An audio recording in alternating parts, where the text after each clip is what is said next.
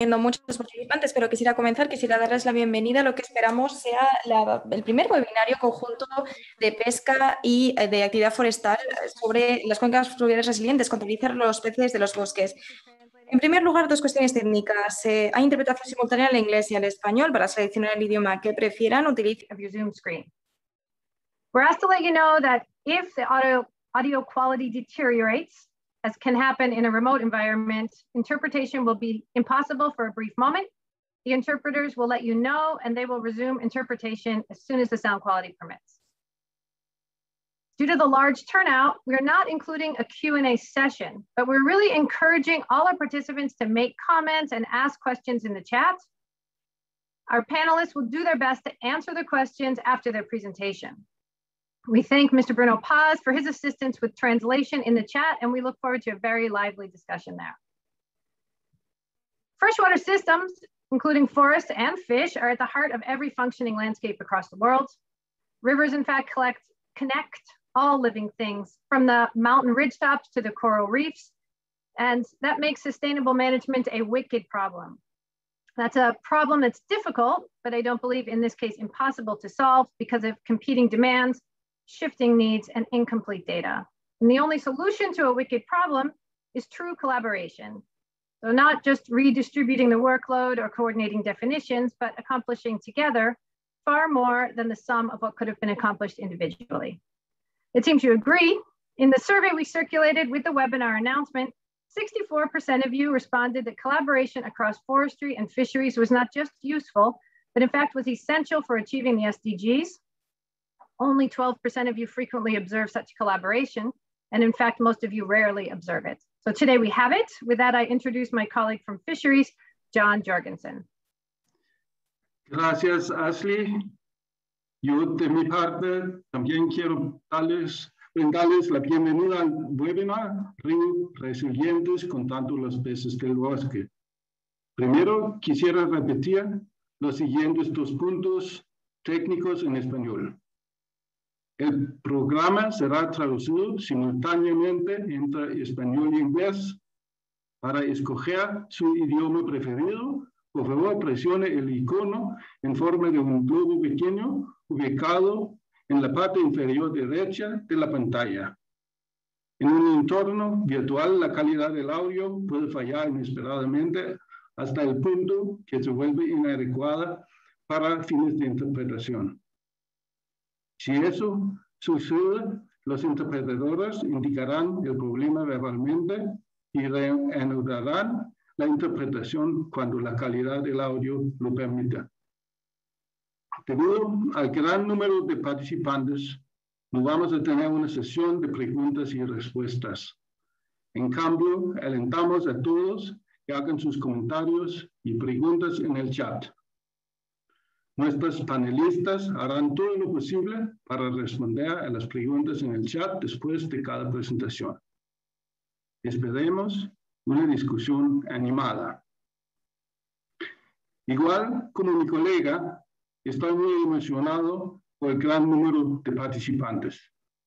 360 personas de 58 países registrados y de diferentes sectores y disciplinas, incluyendo ONG, academia, sector privado y gobiernos.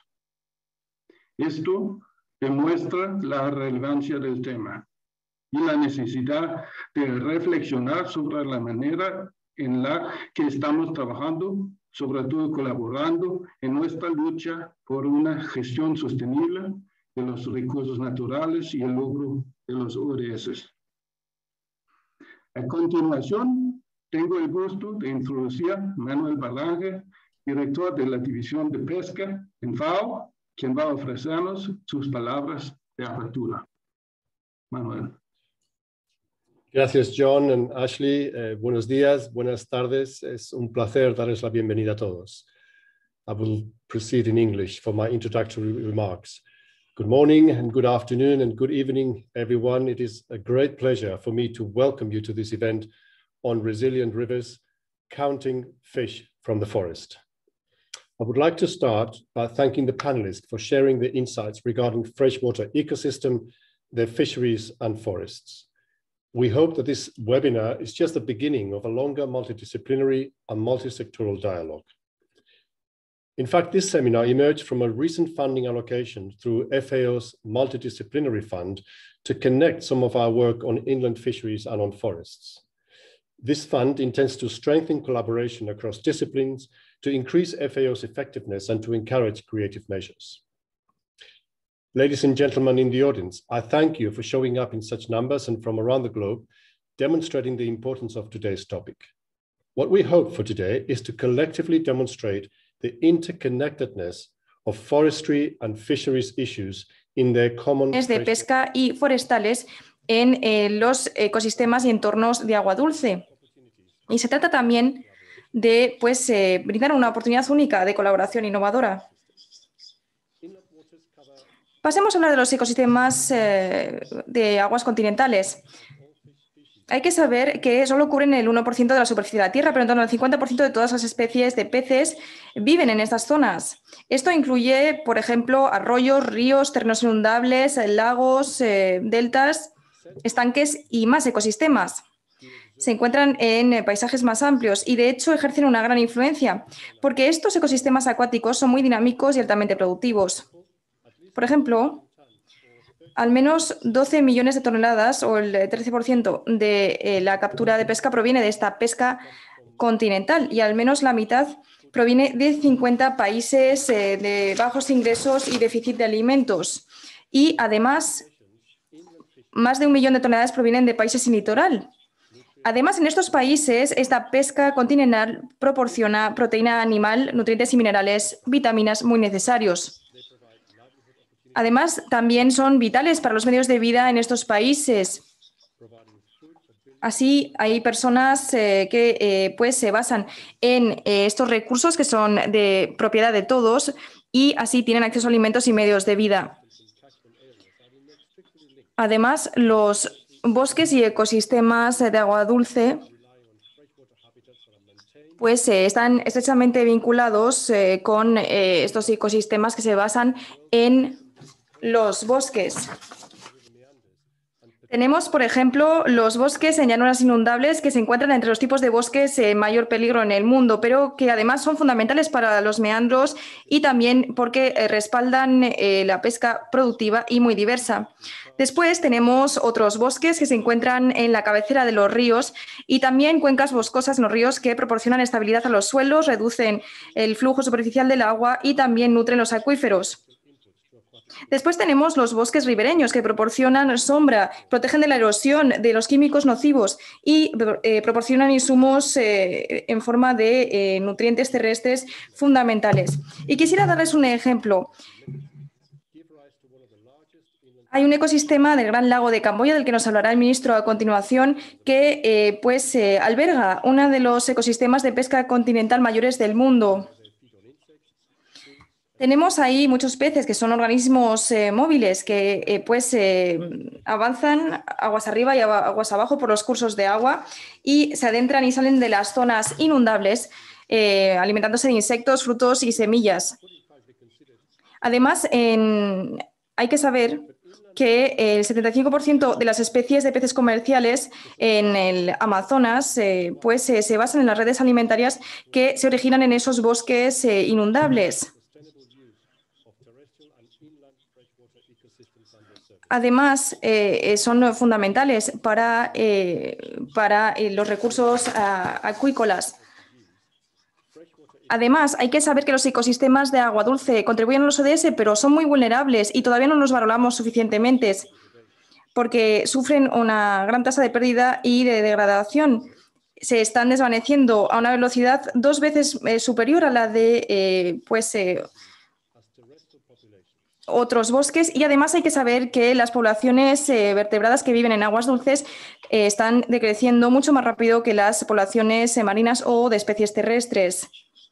Además, en los últimos 30 años se ha reducido en un 50% las poblaciones de especies que viven en aguas dulces.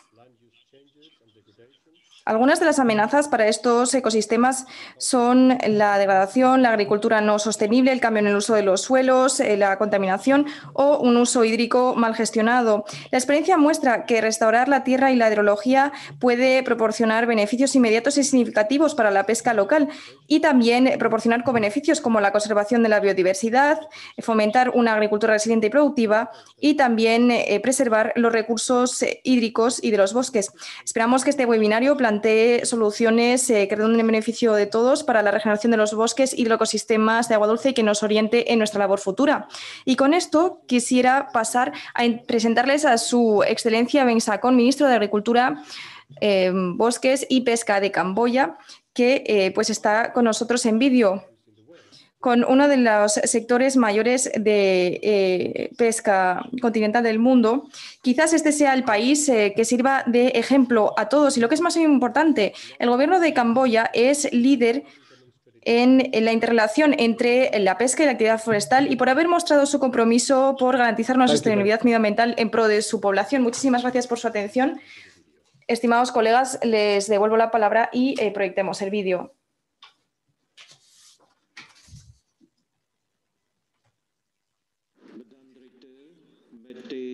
Señora directora Mete Wilke. Señor director Manuel Baranje. Panelistas. Expertos en materia de actividad forestal y de pesca. Señoras y señores.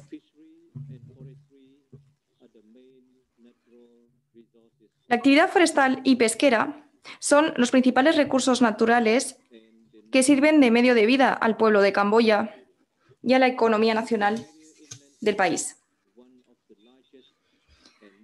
La pesca continental de Camboya, que es una de las mayores y más importantes del mundo, cuenta con eh, una variedad de especies eh, que es superior a las 500 especies. Además, se pescan utilizando 105 eh, tipos distintos de artes de pesca y es una actividad que está eh, pues, eh, reflejada en las antiguas runas de Angkor Wat. Además, hasta hace muy poco se pescaban 700.000 toneladas de pescado al año. Además, de 60.000 toneladas de otros animales acuáticos, tales como camarones, cangrejos, caracoles, ranas, insectos, tortugas y serpientes. Además, Camboya también goza de una rica biodiversidad terrestre. Además, alberga el tercer mayor bosque que se encuentra en tierras bajas en el sudeste de Asia, con 2.300 especies vegetales. De hecho, casi la mitad de nuestro país es eh, de superficie boscosa, con 8 millones de hectáreas de bosques que se regeneran de forma natural. A lo largo y ancho del país, los bosques proporcionan grandes beneficios a sistemas de agua dulce, los bosques eh, en zonas elevadas, en las montañas, protegen los suelos y almacenan agua en las eh, temporadas eh, lluviosas que luego se convierte en esencial durante las épocas más secas. Además, los bosques que están a orillas de los ríos y lagos proporcionan sombra y Camboya también alberga 500.000 hectáreas de bosques inundables y más de 50.000 hectáreas de bosques de manglares. Se trata de bosques que están todavía más vinculados con la pesca y sirven de alimento para estos peces. La actividad forestal y pesquera son realmente la base de los medios de vida en nuestro país y de nuestra economía. Casi 4 millones de personas, o lo que es lo mismo, más del 30% de la población, vive a unos 5 kilómetros del bosque. Y los recursos forestales suponen de media entre el 10 al 20% de eh, pues, eh, los recursos que consumen los hogares. Además, los bosques en Camboya también producen productos madereros, como por ejemplo madera aserrada o madera contrachapada. Y si se cosechan de forma sostenible, pueden eh, apuntalar la economía, brindar medios de vida en las zonas rurales, incluso capturar carbono y mitigar el cambio climático. Millones de camboyanos encuentran empleo en actividades relacionadas con la pesca. Sepan, además, que el pescado y el arroz siguen siendo los alimentos básicos de nuestro país. El pescado y otros animales acuáticos son cruciales para la nutrición y seguridad alimentaria de nuestro país porque proporcionan al pueblo de Camboya con el 80% de su ingesta de proteína animal y también la mayoría de sus vitaminas y minerales esenciales, en particular calcio, vitamina A y aceites de pescado. La pesca continental también es fundamental para la economía de nuestro país, puesto que contribuye un 16% al PIB nacional. Excelencias, señoras y señores, soy plenamente consciente del estrecho vínculo que une la pesca, los bosques y los medios de vida. Esto es algo crucial y no es algo que pueda garantizar ni eh, las autoridades pesqueras ni las autoridades forestales por separado. Es algo que requiere la colaboración de todos los sectores implicados. Una buena gestión de los bosques es esencial para la producción pesquera y así poder satisfacer las necesidades de la población camboyana.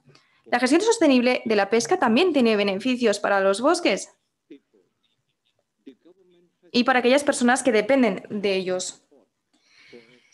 El Gobierno ha adoptado muchas medidas para respaldar el sector forestal y el sector pesquero. En 1997, el Gobierno de Camboya estableció una reserva en el país que cubre 1,5 millones de hectáreas, la resfera de Tonle Sap, destinada a la protección y conservación a largo plazo de los recursos naturales y del ecosistema. Y su objetivo es específicamente preservar los bosques inundables, eh, los peces, la vida silvestre, los sistemas hidrológicos y la belleza natural. En distintos lugares en torno a ese gran lago estamos restaurando el acceso de los peces a zonas inundadas, incluyendo el bosque inundable, con grandes beneficios para la población local. El Gobierno también está aplicando políticas y leyes que permiten a los habitantes de las aldeas tener mayores derechos y asumir mayores responsabilidades a la hora de proteger y gestionar los recursos nacionales, garantizando la participación de las partes interesadas a nivel de comunidad. Es necesario tener un enfoque multidisciplinario y holístico en la gestión de las cuencas hidrográficas y también en la gestión y restauración de los ecosistemas en pro de las personas y de la naturaleza. Como ya dije al principio de mi alocución, los recursos naturales son esenciales para el pueblo de Camboya. A lo largo del tiempo hemos adquirido una gran experiencia en su gestión sostenible y muchas de las lecciones que hemos aprendido las hemos aprendido conjuntamente con otros socios, tales como la FAO. Y es un placer compartir esas experiencias con todos ustedes. Quisiera concluir dando las gracias a los organizadores por haberme invitado a dirigirme a todos ustedes con motivo de esta reunión tan importante. Y también les agradezco a todos ustedes encarecidamente su atención. Muchísimas gracias.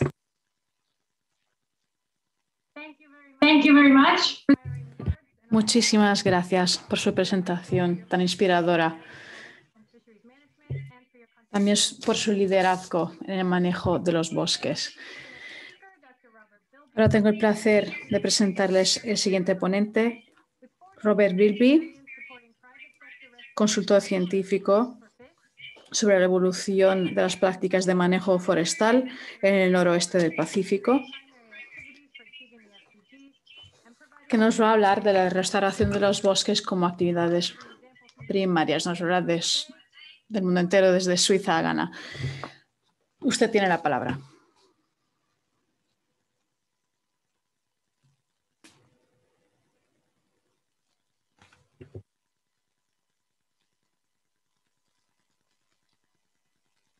Okay, thank, okay, thank you.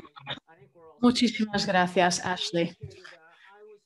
Como les dijo Ashley, hoy me pidieron que hiciera una presentación sobre el proceso que se desarrolló en el noroeste del Pacífico en los últimos 40 años para mejorar la coordinación del manejo de los bosques con la restauración de los ecosistemas acuáticos de la región.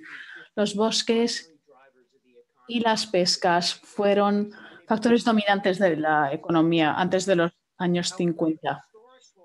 Eran dos industrias muy importantes. A pesar de esto, las prácticas tradicionales de manejo de los bosques fueron impactadas por la productividad del agua dulce y de los hábitats de estuarios. En los últimos 40 años, y desafortunadamente llevo más tiempo que esto, ha habido muchas mejoras en las prácticas que tienen que ver con los hábitats de agua dulce en los bosques para una industria bosquera que sea viable a nivel económico. Ahí ven un mapa que tiene, de una zona que tiene bosques muy productivos y unas pescas muy productivas que son entre las más valiosas del mundo. Aquí tienen una figura que les representa la productividad bosquera en el mundo. Las plantaciones de caolito, por ejemplo, en Australia eh, se puso el nivel a 100 de forma arbitraria en la hemisfera del norte es donde se acerca al nivel de productividad deseado. Hay zonas muy productivas para los bosques, como ven en la figura.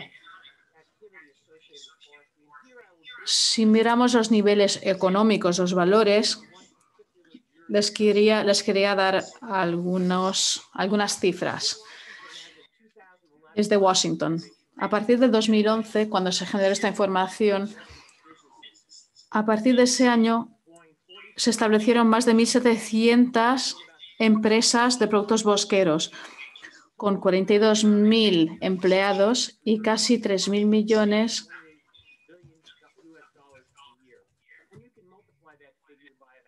de ingresos a nivel anual.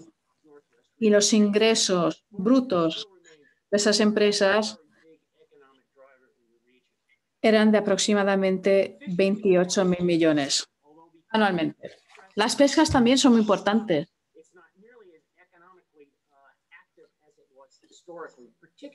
Aunque cuando miramos las poblaciones de peces de agua dulce ya no son tan productivos como antes.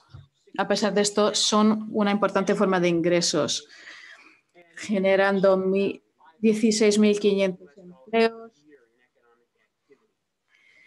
y un impacto económico muy importante con 376 millones para las pescas recreativas y 148 millones de dólares para las pescas comerciales. El salmón es una componente muy importante de las pescas y también a nivel cultural.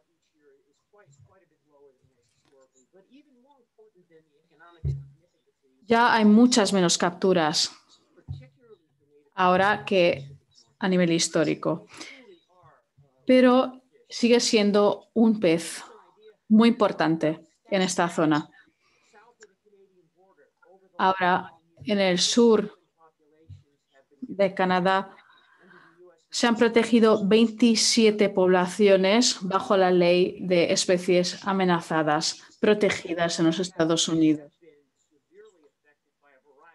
se han visto muy afectadas por muchos factores, entre ellos los, la producción de los bosques. Miremos entonces las prácticas tradicionales bosqueras. Antes del 1970 más o menos, se manejaron los bosques de una forma que no protegía los entornos acuáticos. Se cortaban los árboles, se utilizaban sistemas que no protegen los ecosistemas, se cortaban unos troncos muy grandes. Y el resultado es lo que ven en esas fotos que se sacaron en los años 60.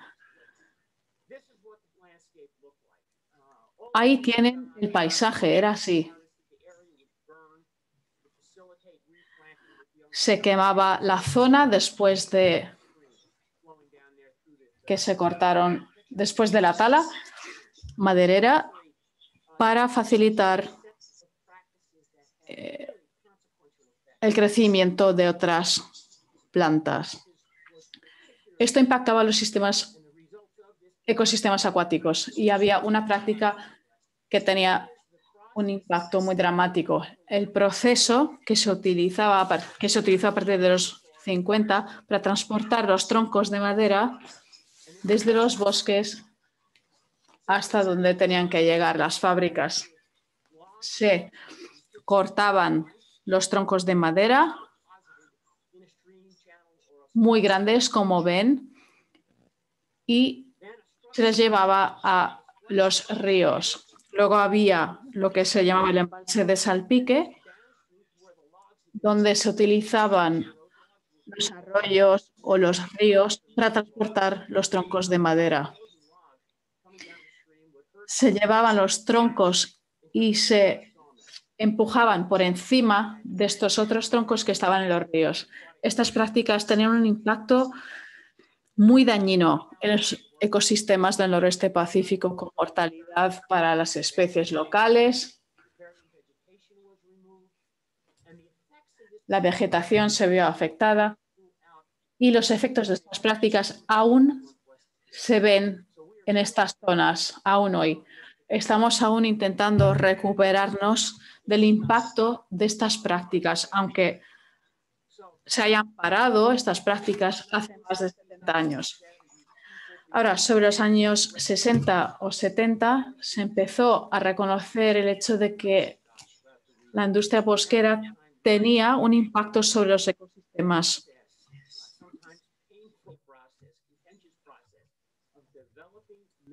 Eh, que quedaban al lado.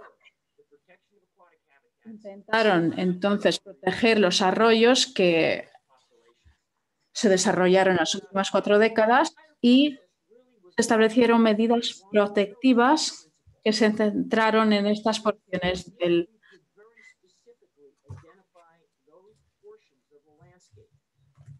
del paisaje que se vieron afectadas. Se decidió centrarse en esos paisajes que podían tener más impacto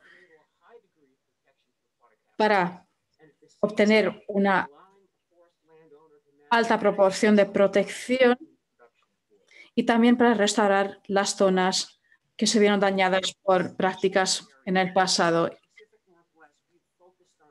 ¿Cuáles son los temas principales que hay que mirar? pudimos identificar cuatro. La protección, la protección de las zonas riparianas,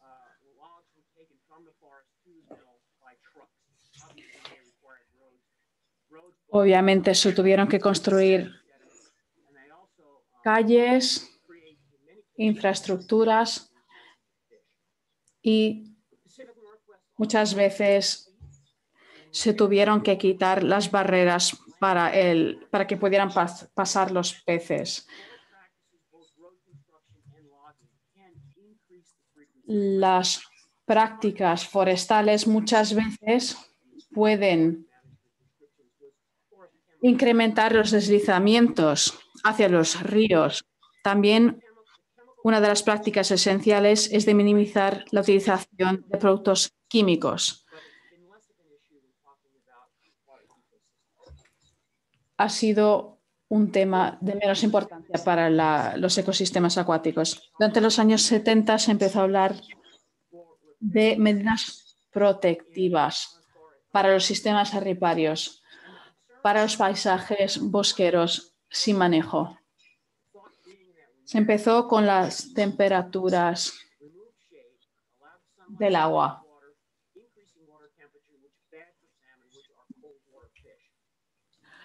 Viendo, mirando cómo se veían afectadas las especies de salmón, por ejemplo, por la sombra o la luz del sol. Antes de los años 70 no había ningún tipo de protección para estos arroyos y ríos.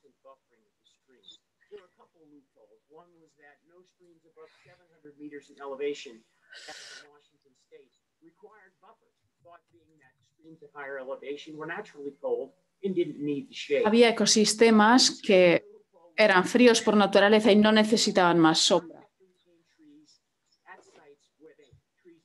También se decidió que no había que retener los árboles en algunas zonas. Todo dependió del ecosistema en cuestión, de las tempestades.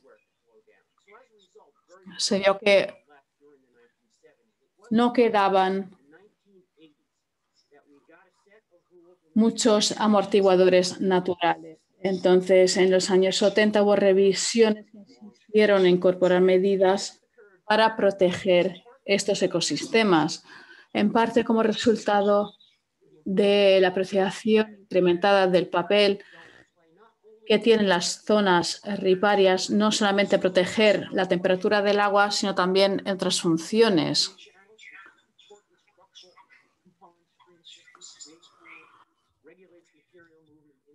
para regular los movimientos de material, por ejemplo, para la formación de estanques, para crear fuentes de energía.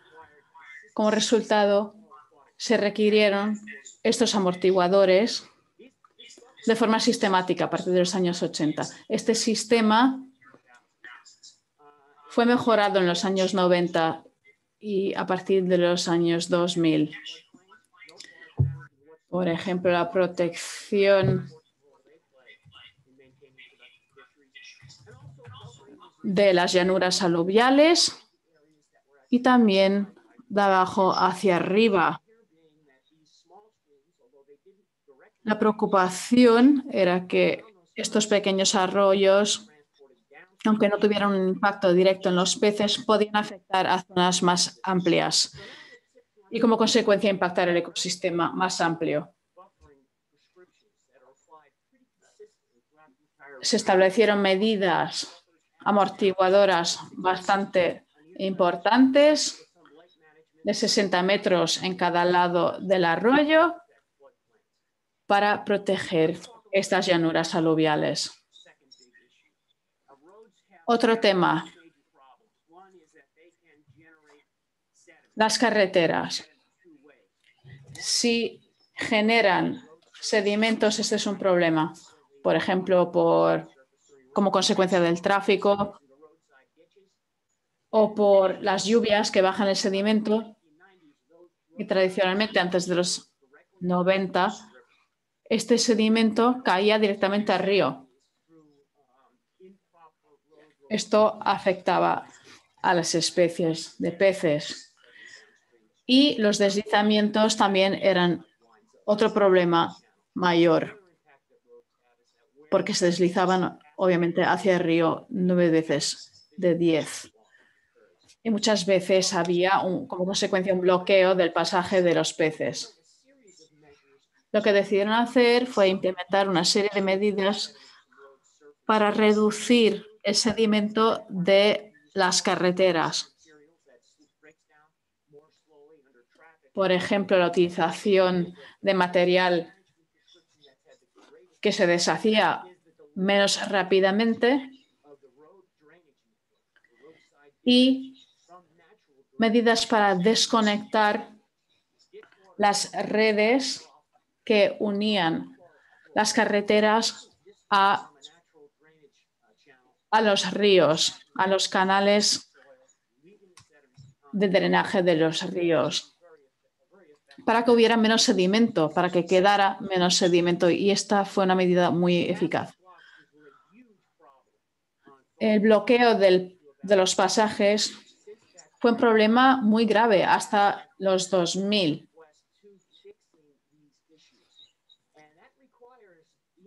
cuando hubo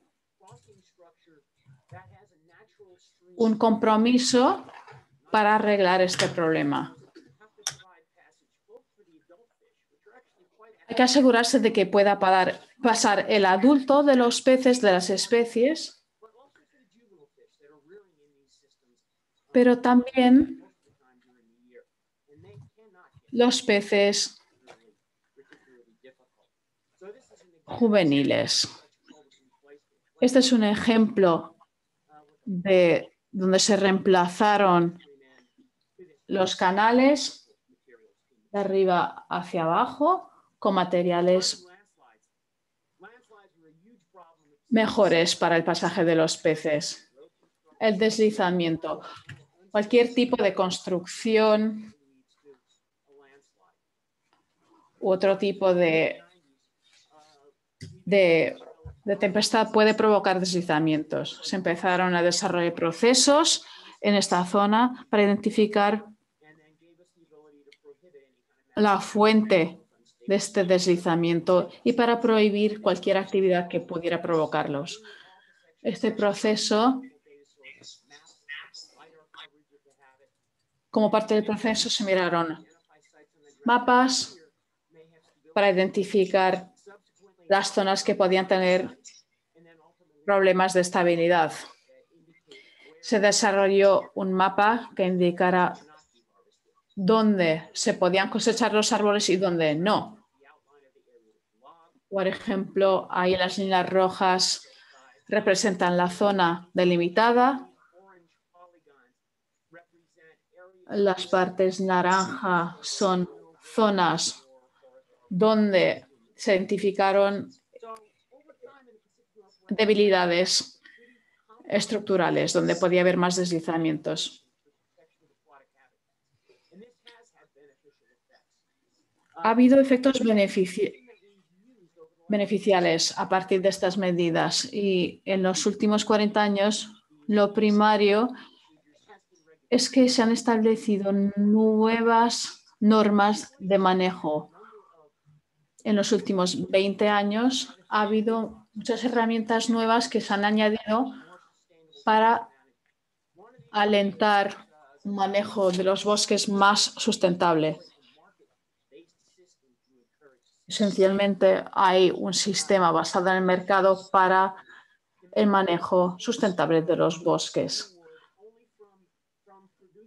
Por ejemplo, se permite la compra de productos bosqueros solamente de los productores que los producen de forma sustentable. Hay sistemas de certificación de los bosques. Hay un consejo. Hay una iniciativa conjunta. Pero lo importante es que estos sistemas de certificación contienen normas. Si hay un compromiso hacia eh, estas medidas, se puede poner un sello en los productos que mejora el acceso al mercado y es una herramienta muy eficaz para el manejo sustentable bosquero a nivel mundial. Se están desarrollando sistemas para monetizar los sistemas y los bienes de ecosistemas más allá de los productos madereros. Y hay oportunidades para compensación, para secuestro de carbono, por ejemplo. Hay un- una iniciativa donde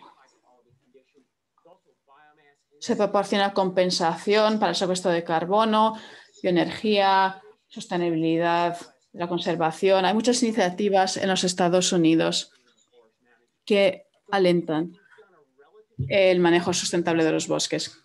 Creo que hemos logrado mucho en desarrollar un sistema que proteja los ecosistemas acuáticos. Hay oportunidades para mejorarlo en el futuro, pero creo que hay un mensaje que nos podemos llevar desde, esta zona, que se puede aplicar a otras zonas del mundo. Sí se pueden identificar estas zonas que son más importantes para mantener la salud de los ecosistemas acuáticos y centrar las medidas protectivas en estas zonas, se pueden lograr sistemas productivos sanos y productos viables. Muchas gracias.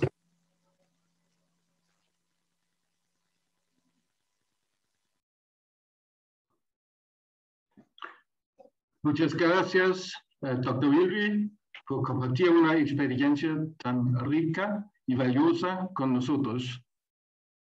Ahora vamos a ir más al sur, a Colombia, junto con el señor Mauricio Valderrama, director de Fundación Humedales. Señor Valderrama se ha desempeñado como investigador en recursos pesqueros y ha gestionado procesos de ordenación pesquera y actividades de gestión ambiental en conservación y uso sostenible de humedales en las cuencas de Magdalena, Amazonia, Orinoquia, Sinú, Caribe y Pacífica. Señor Valderrama hoy va a hablarnos sobre el fortalecimiento de procesos de gobernanza local de la pesca y ejecución de actividades de sostenibilidad integral del territorio en la cuenca del río Magdalena, Colombia. Señor Valderrama, por favor. Y buenos días, bueno, a, todos los asistentes y agradecer a FAO por esta invitación. Y lo que vamos a conocer ahora en unos pocos minutos es todo un proceso que se ha hecho en Colombia relacionado con fortalecer la gobernanza de la pesca y ejecución de algunas actividades que contribuyan de un marco de, dentro de un marco de integralidad que contribuyan a la sostenibilidad del territorio en la cuenca del río Magdalena. Esto es un proceso que se inició hace más de seis años. Eh, es realizado por inicialmente dos asociaciones de pescadores, después tres, ya vamos cuatro, y es un proceso que ha tenido, digamos, el apoyo o el acompañamiento desde el principio con la Autoridad Nacional de Pesca que en Colombia, de Pesca y Acuicultura que en Colombia se conoce como la UNAM.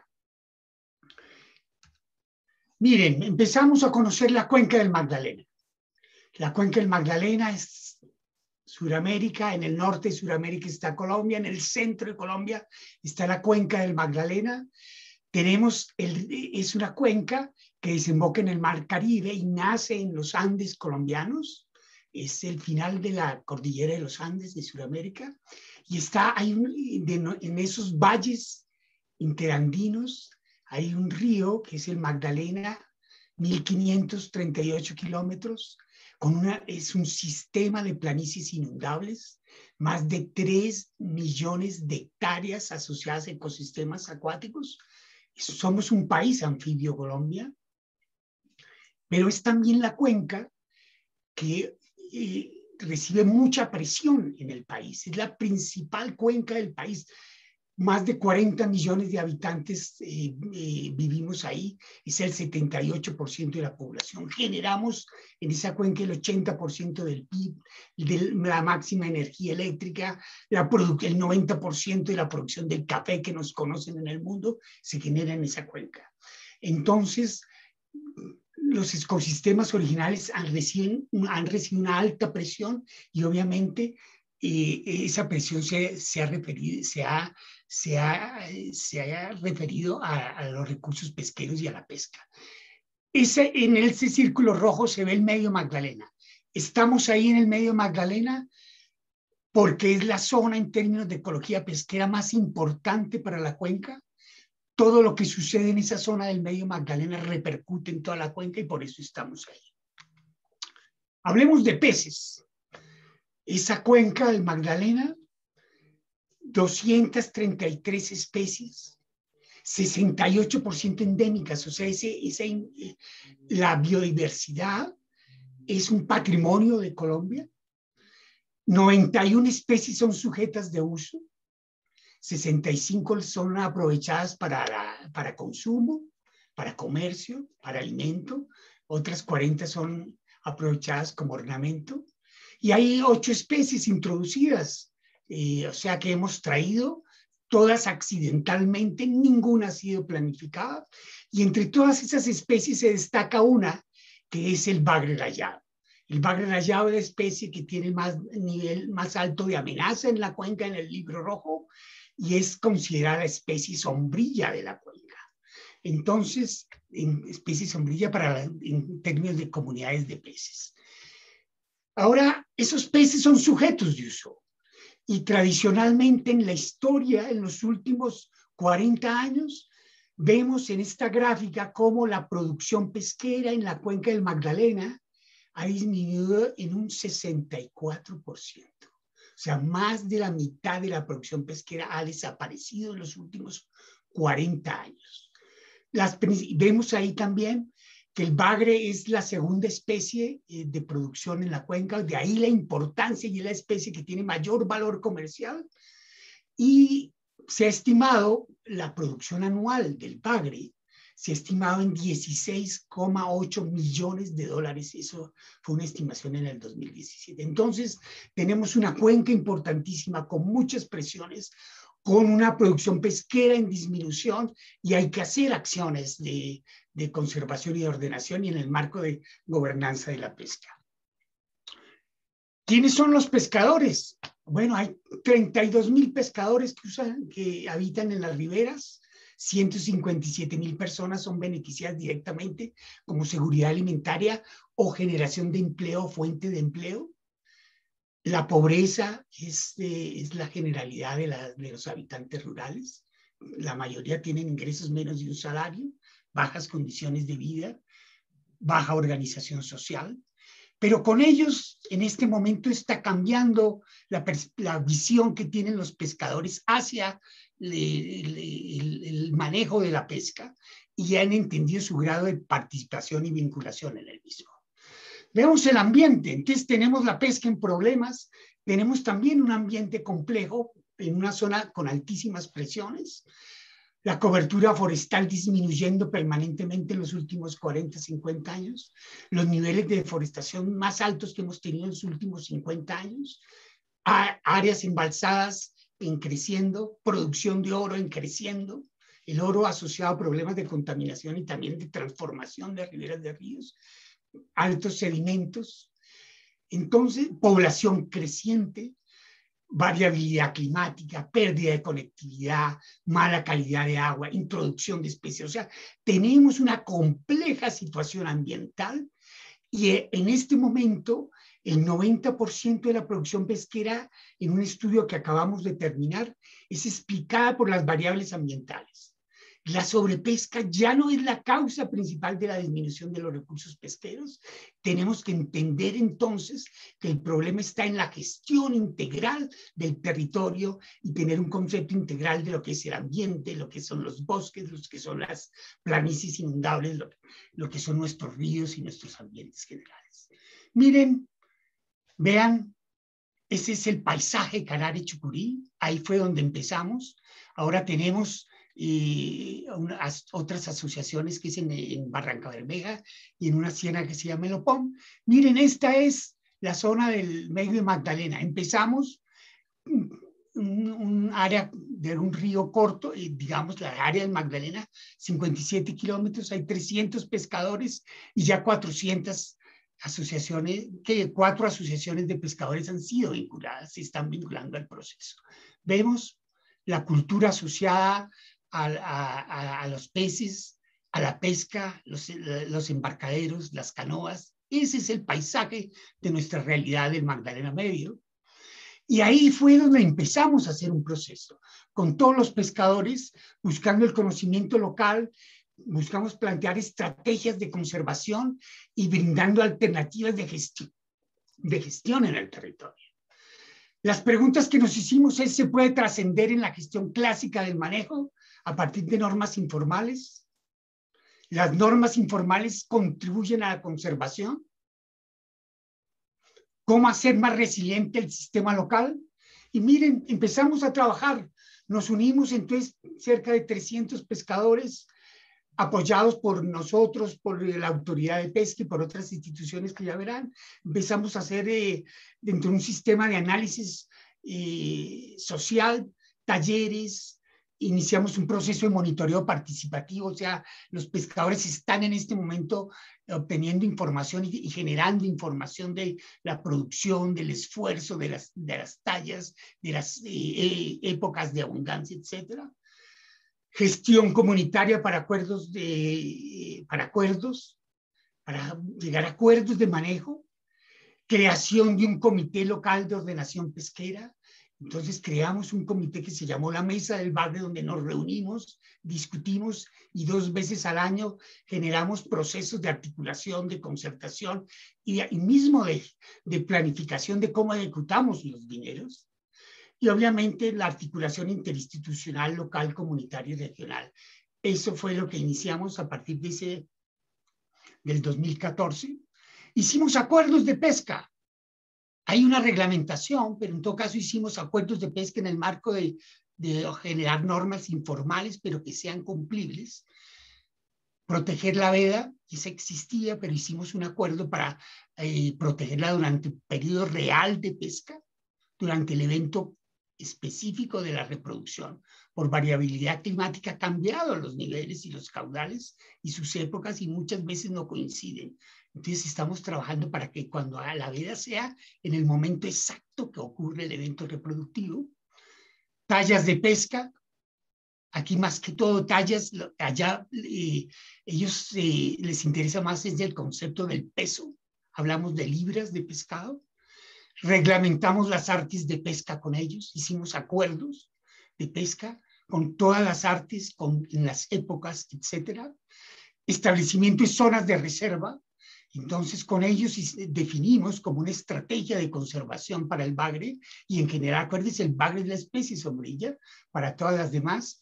Creamos cuatro zonas de reserva, dos de, de, manejo, dos de manejo especial y una reserva total de que no hay pesca. Vemos las, fueron cuatro ciénagas. En realidad hay más cerca de 1.300 hectáreas protegidas y fueron, y lo importante de esto fue que la autoridad de pesca avaló estos acuerdos, en este caso el de zonas de reserva, y generó, como lo vemos abajo, generó un acto administrativo que eh, nos eh, avaló, adoptó esas recomendaciones de los pescadores, igual que se hizo con la veda durante el evento reproductivo. El seguimiento, los mismos pescadores están haciendo seguimiento a través del monitoreo participativo, Vemos como eh, aquí como ellos mismos están recogiendo información, ellos mismos la procesan y ellos la mismo la informan. Obviamente nosotros los apoyamos, pero ellos ya cada vez están siendo más autónomos en la generación de, de su información. Seguimiento a las zonas de reserva. Hicimos, hacemos recorridos y hacemos actividades educativas y evaluación de cumplimiento de esas zonas de reserva. Y miren, y lo más importante es que con ellos entre ellos hacemos un, eh, definimos unos niveles de cumplimiento, vamos evaluando esos niveles de cumplimiento.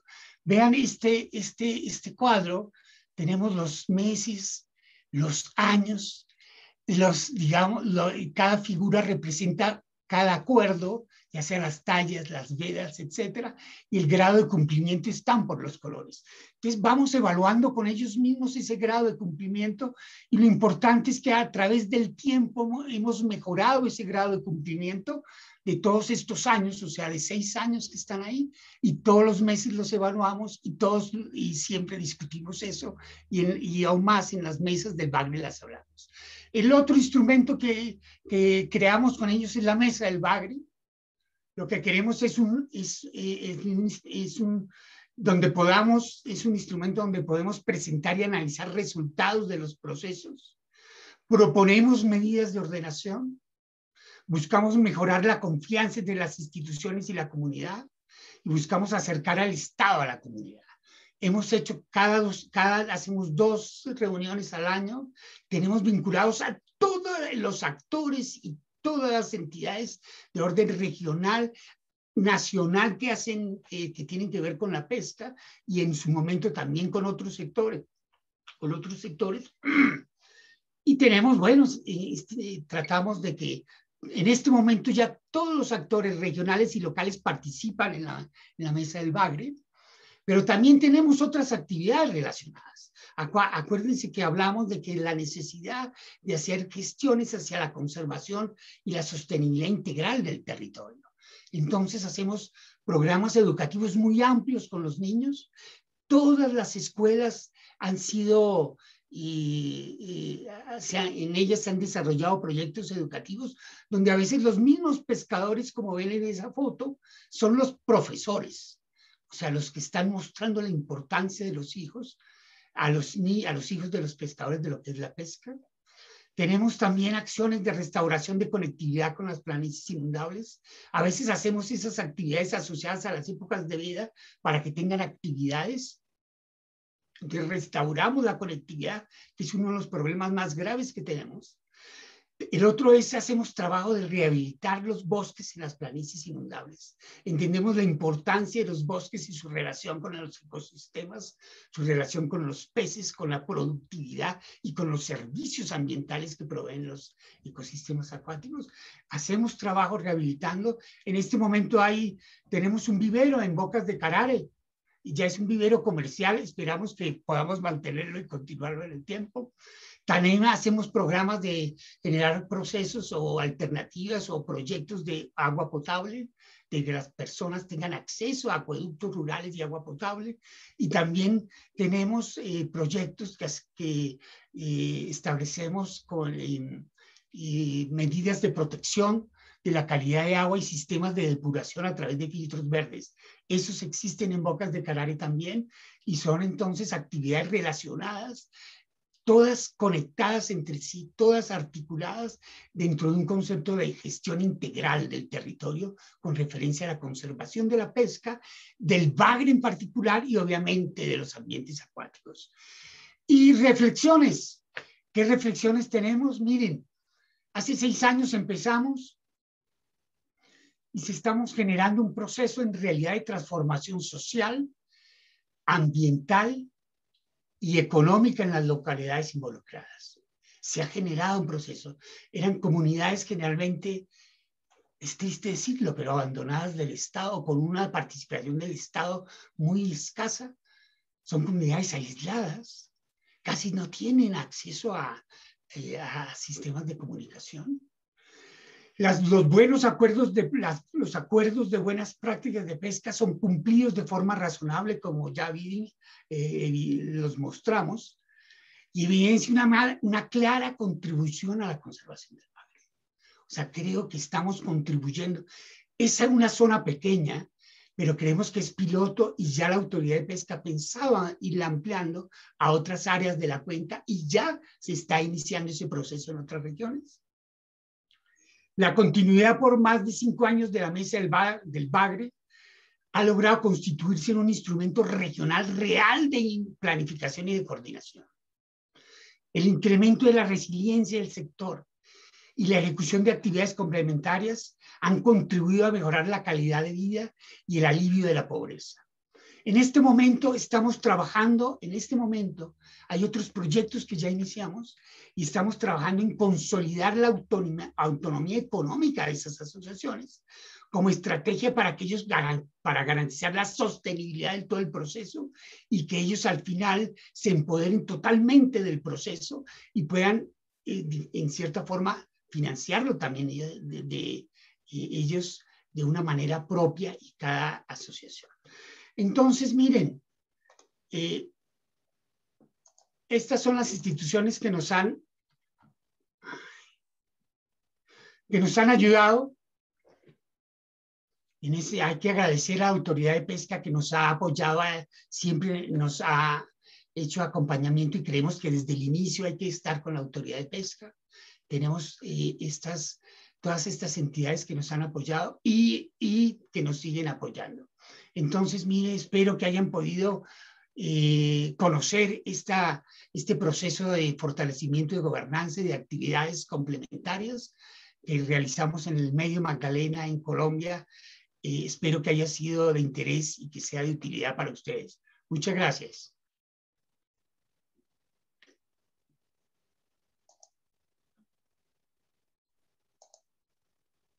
Thank you very much, Mr. Valder Muchísimas gracias, señor Valderrama. En realidad fue un placer eh, escuchar, oír eh, sobre su trabajo antes del webinario y ahora poder escucharlo en más detalle ha sido una gran oportunidad. Muchísimas gracias por su presentación excelente. Una vez más, quisiera hacer referencia a nuestra encuesta previa al webinario sobre sus opiniones. Les preguntamos eh, cuáles eran, en su opinión, las actividades prioritarias para lograr la meta 15.1 de los ODS.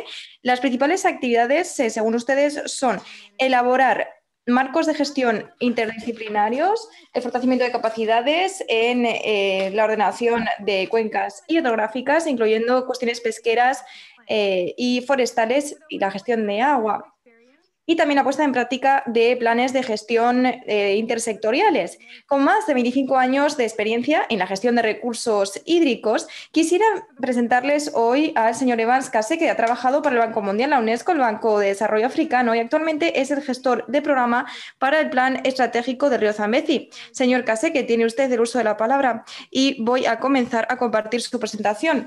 Hágame saber cuándo quiere que pase las diapositivas.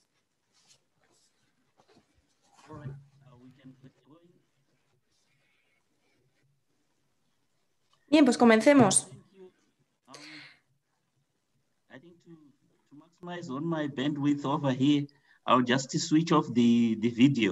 Para pues maximizar el ancho de banda, creo que es mejor que apague el vídeo de momento, dice el orador. Bueno, para que puedan verme, soy Evans Kaseke de eh, la Comisión de Gestión de eh, Zambeki. Ya se me ha presentado, soy el encargado del plan estratégico y de la elaboración de distintos instrumentos de colaboración en el curso de agua del río Zambezi. Gracias. Entonces ahora voy a apagar mi vídeo. Y me voy a centrar en la presentación. Hoy voy a compartir con ustedes el marco que hemos eh, desarrollado en Zambezi para la gestión colectiva de este recurso nacional. Pero antes de empezar la presentación propiamente dicha, sí que quisiera informar a la sala de que el Zambezi se ha declarado como un lugar fundamental para la pesca en el sur de África. Y eso se ha logrado gracias a actividades que hemos desarrollado conjuntamente con la Unión Africana y con algunos de ustedes,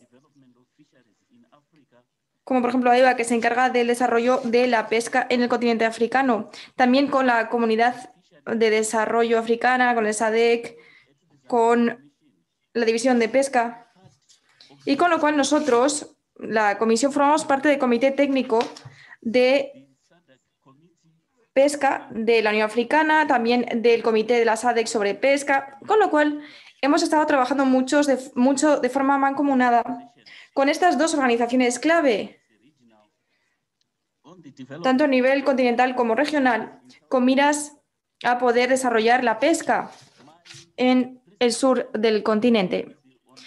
Mi presentación va a abordar la gestión multisectorial de grandes ríos y en este caso en particular les voy a hablar del curso de agua del río Zambezi.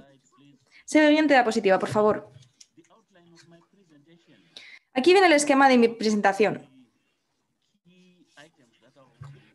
Entre las cuestiones clave, pueden ver aquí que me voy a centrar en los elementos clave de eh, Zambezi como curso de agua. Luego la definición para explicarles en qué consiste es muy importante para que todos tengamos el mismo entendimiento con el tipo de eh, del que estamos hablando. Luego vamos a hablar de la estructura de gobernanza de ZAMCOM es algo muy importante para la gestión colaborativa de este eh, río transfronterizo. Luego también voy a pasar a hablar de los principales retos. Y en particular les voy a hablar de los retos principales a los que se enfrentan los ocho países por los que pasa el río, los principales retos a los que se enfrentan para colaborar en el marco de la Comisión del Río Zambezi. Luego voy a pasar a hablarles de las oportunidades para mejorar la colaboración entre los ocho países. Abordaré eh, pues la visión de desarrollo futura y pasaré luego a hablarles de los principales instrumentos de colaboración y el marco que se está utilizando ahora para gestionar el río Zambezi. Con ese marco se gestionará también la pesca y concluiré con pues, cuáles son las ventajas eh, previstas de la colaboración. Siguiente diapositiva, por favor.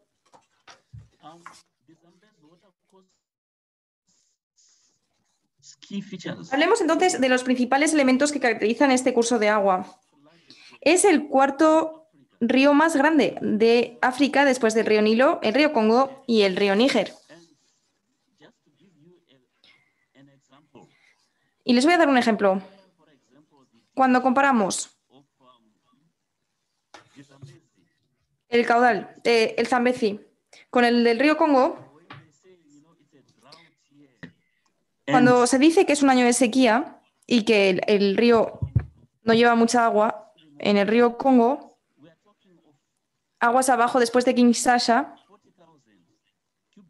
en realidad estamos hablando de 40.000 metros cúbicos por segundo de caudal, con lo cual es un caudal considerable.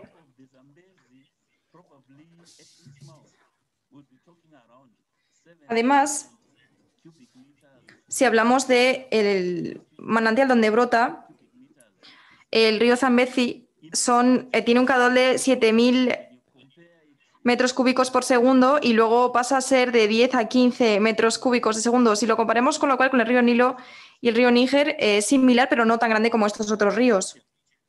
Otra cuestión clave del río Zambezi es que en realidad es un curso de agua compartido por ocho países. Se trata de las repúblicas de Angola, Botsuana, Malawi, Mozambique, Namibia, Tanzania, Zambia y Zimbabue. Y lo que aúna a todos estos países es el acuerdo, los acuerdos que firmaron en 2004.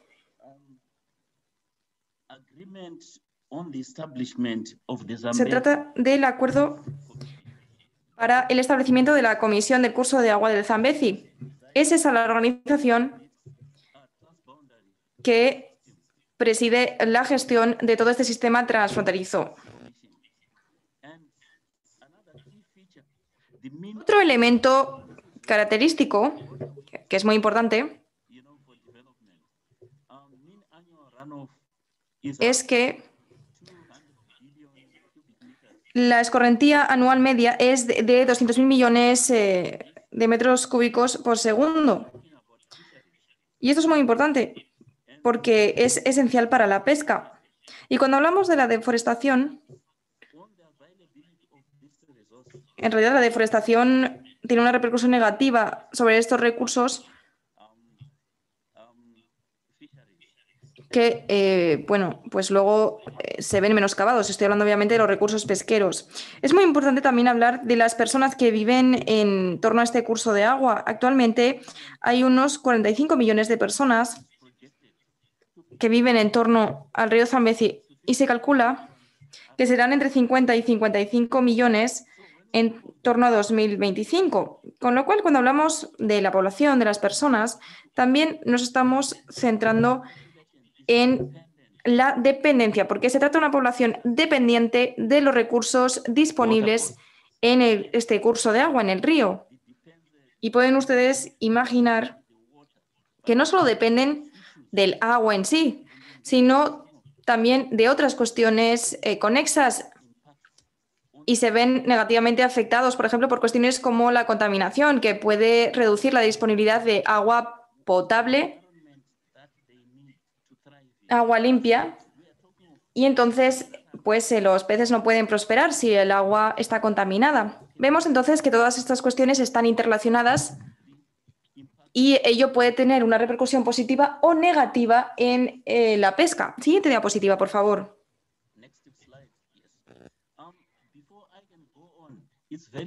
Antes de proseguir, es muy importante explicar qué es el Zambezi en realidad. Y se define el Zambezi como un curso de agua Y esta definición que ven aquí en realidad está consagrada en la Convención de Naciones Unidas sobre el uso no navegable de, las aguas. Es de ahí de donde proviene esta definición. Esa definición se retomó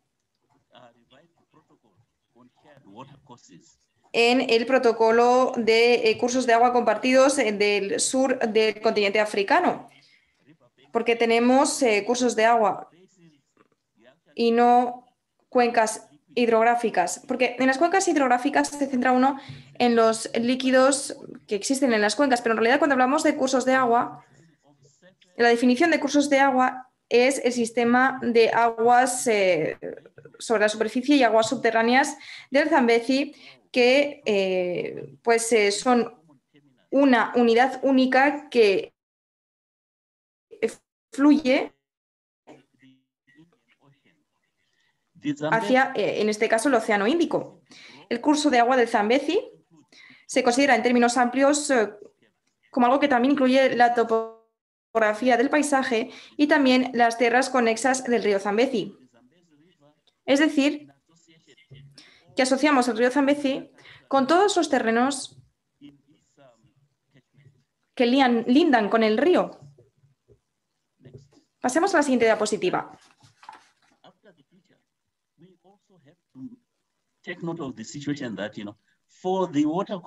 Además, también hay que tener en cuenta que para que pueda funcionar correctamente el comité de este curso de agua, había que crear una estructura de gobernanza.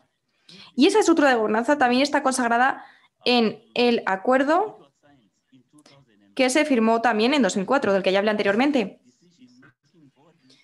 El órgano supremo de toma de decisiones en la comisión del curso de agua del Zambezi es el Consejo de Ministros. Y actualmente estamos hablando de los ministros de cuestiones hídricas. Ellos son los oficiales que pues forman parte de este organismo que decide y aprueba las actividades que luego se ponen en práctica año tras año en el curso de agua del Zambezi.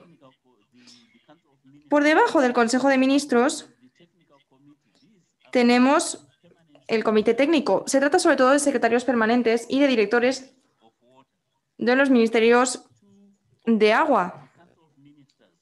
Pero ambas instancias, el Consejo de Ministros y el Comité Técnico, tienen el mandato de compartir información sobre lo que está ocurriendo en el curso de agua con otros eh, ministros de otros ramos y también deben informar a los jefes de Estado, los presidentes, los primeros ministros sobre las actividades que se están realizando en el curso de agua del Zambezi.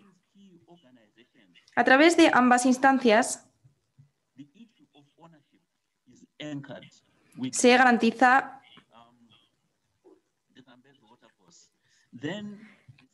que eh, los países se adueñen de eh, lo que ocurre en el Zambezi. Luego tenemos la Secretaría, que se encarga de ejecutar, de poner en práctica las decisiones que adopte el Consejo de Ministros. Y en realidad nuestra Secretaría cuenta con eh, grupos de trabajo especializados.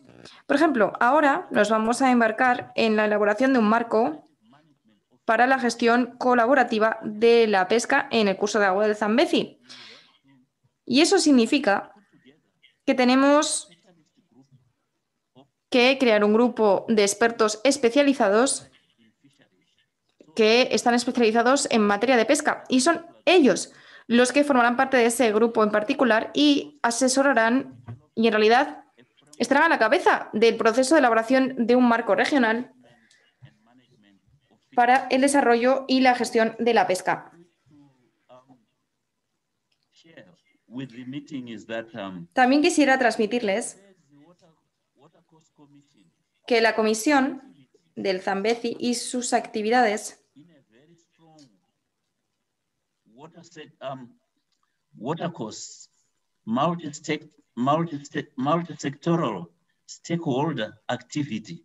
Se llevan a cabo a través de actividades de múltiples partes interesadas. Y ese componente, es decir, la implicación de las partes interesadas, desempeña un papel fundamental en el desarrollo y la gestión de todas las actividades sectoriales en el curso de agua del río Zambezi.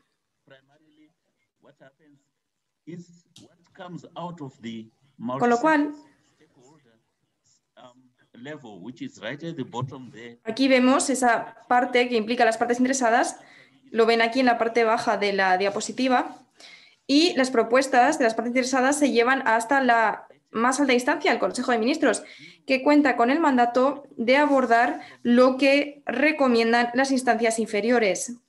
Y son las instancias inferiores que incluyen pues, el sector privado, el sector público, las ONGs, también la población rural, los campesinos, que son los principales beneficiarios en realidad de las actividades de la Comisión.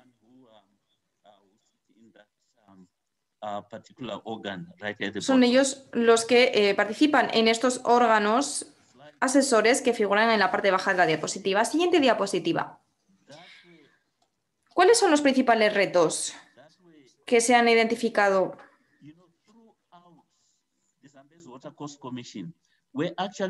En la comisión hemos identificado varios retos a través de una consulta muy intensa con las partes interesadas.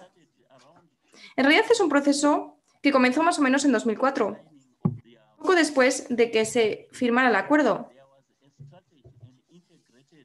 Y se elaboró una estrategia de gestión en 2008, que es en realidad un documento clave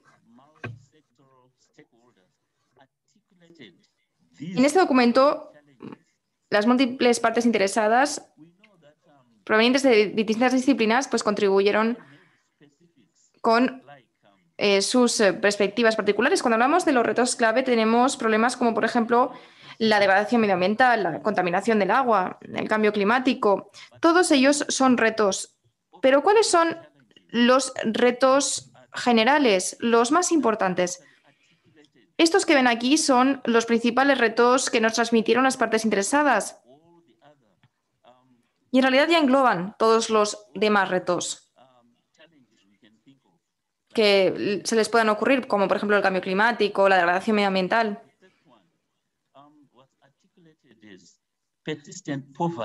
En realidad, el principal reto, el primero de todos que se identificó gracias a estas consultas, fue el de la pobreza persistente. Vimos que era necesario que hubiera un desarrollo equitativo y resiliente.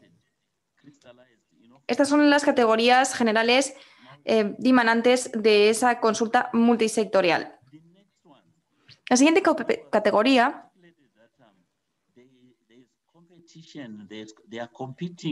tiene que ver con el uso de los recursos hídricos hay distintos usos que entran en competencia. Tenemos, por ejemplo, la agricultura, la generación de energía hidráulica.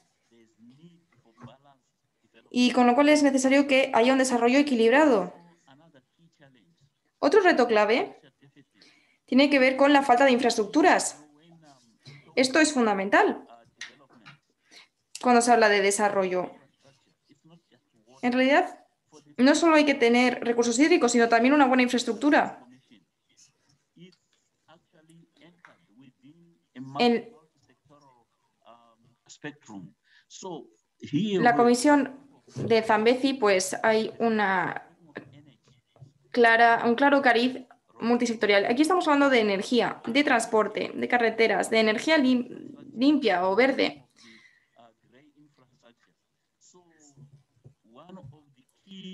De infraestructuras en general.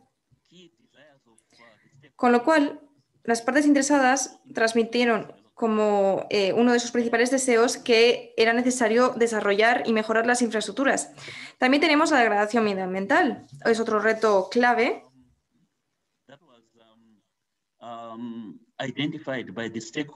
Que identificaron las partes interesadas.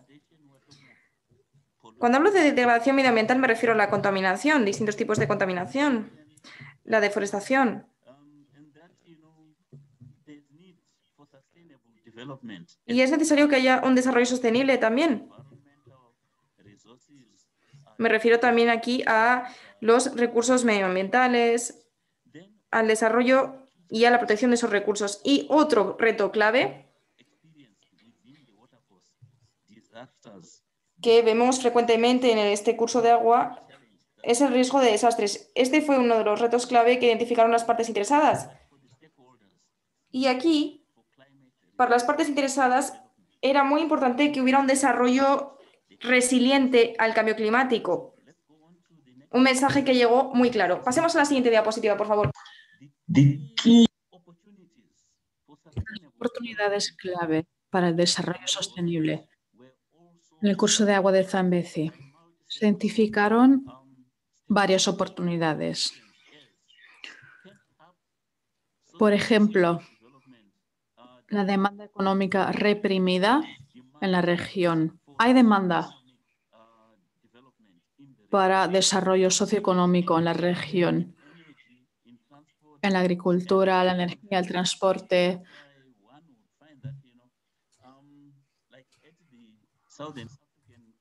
En la fabricación, por ejemplo, a nivel de la comunidad del SADC, este tipo de desarrollo se prioriza porque se necesita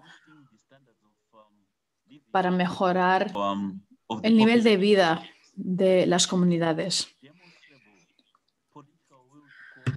La voluntad política para la cooperación esta es una característica clave que lleva el proceso en el curso de agua de Zambezi. La voluntad política para la cooperación. Estamos hablando del diseño del acuerdo del 2014. A partir del 2019 se adoptó un marco para la operación y la planificación para el curso de agua de Zambezi. Este es un plan estratégico para el curso de agua de Zambezi. Marcos legales e institucionales que se acordaron como herramientas de cooperación. Estos son ejemplos, el protocolo sobre cursos de agua compartidos, el plan estratégico, que forman el marco legal, que crean la voluntad política para la cooperación. También quería compartir con ustedes el hecho de que estos marcos legales e institucionales se establecen a través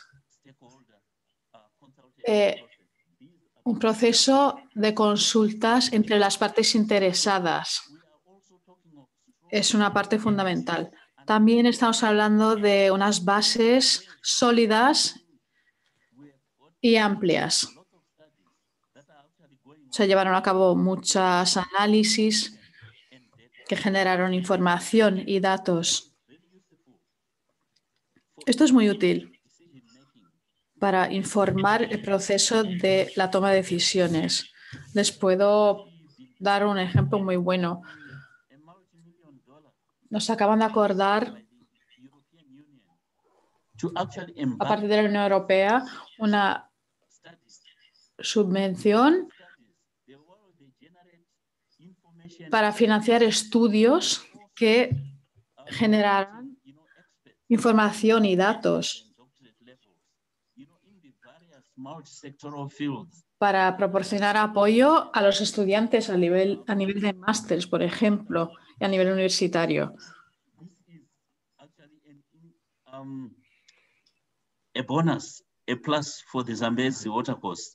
Es un bonus para nosotros, para el curso de agua de Zambezi. También a través de otro estudio sobre las inversiones y oportunidades multisectorales, se identificó el hecho de que hay oportunidades para inversiones en la infraestructura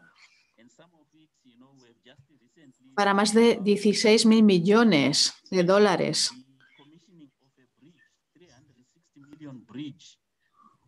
Por ejemplo, un puente en el río de Zambezi a partir de Botswana y hasta Zambia.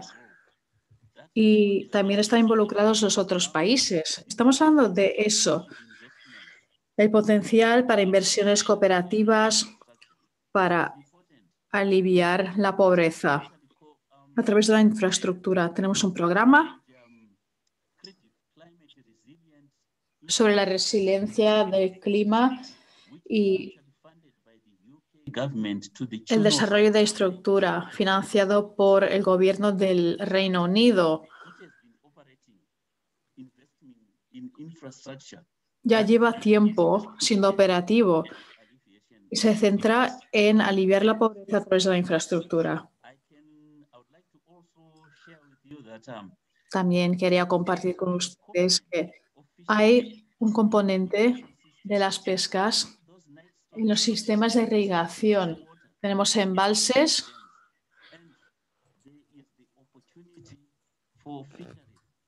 donde se almacena el agua por la noche. Esto crea oportunidades para la pesca, para la acuacultura y tenemos muchos ejemplos que podemos compartir. Transferencia de agua. Hay dos proyectos, uno en Botswana, otro en Zimbabue. La producción de hidroenergía.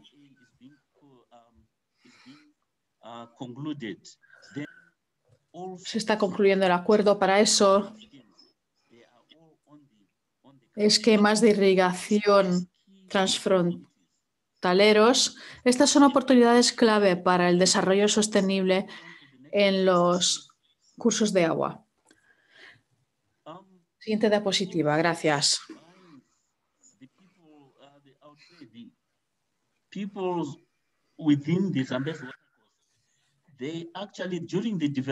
Las comunidades que están involucradas en el desarrollo de este curso de agua también están involucradas en el diseño del plan estratégico.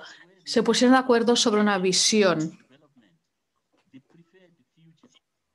que se llama el futuro preferido. Se trata de optimizar los beneficios económicos del desarrollo del curso de agua de Zambezi en línea con la garantía del mantenimiento de flujos ambientales moderados y la protección ante las inundaciones. Este es el futuro del desarrollo que se eligió.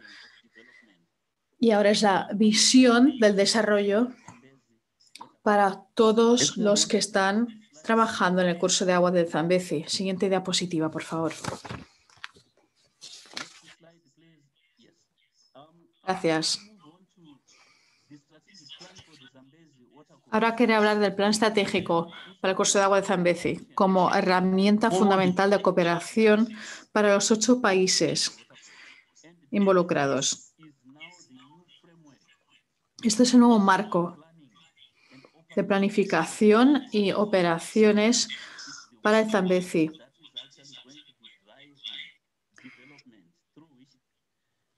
Y llevará el desarrollo, será el motor de desarrollo para el curso de agua de Zambezi. En el acuerdo del 2004, el desarrollo del plan estratégico fue priorizado se definió como un plan de desarrollo con una herramienta de planificación general para las decisiones y para los sistemas que hemos desarrollado, que hemos aplicado y que se desarrollaron a través de las consultas multipartes que se pusieron de acuerdo sobre esto como herramienta de planificación para los ocho países del Zambezi.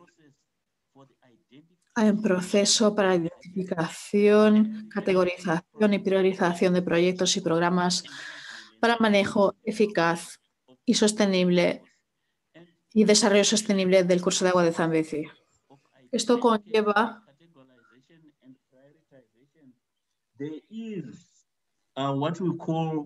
lo que llamamos otra herramienta para la cooperación que se llaman las, los procedimientos de ZAMCOM para las medidas planificadas. Por ejemplo, si un país quiere desarrollar un proyecto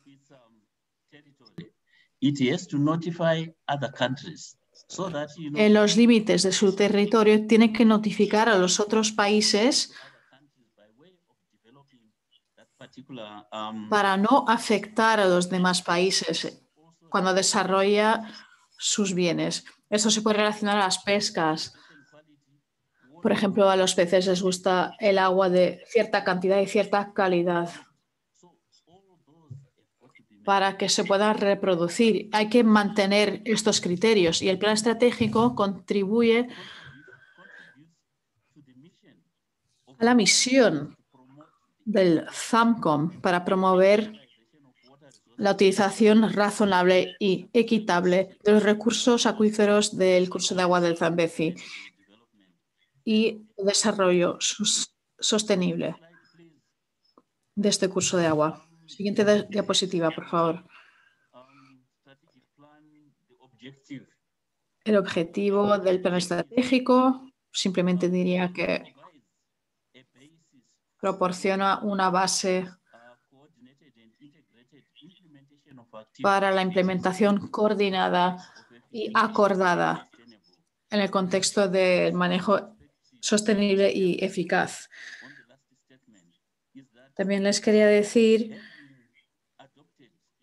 que cuando se adoptó el plan estratégico, los Estados miembros han tomado el compromiso de llevar a cabo sus planes, proyectos relacionados con el curso de agua del Zambezi en línea con el plan estratégico.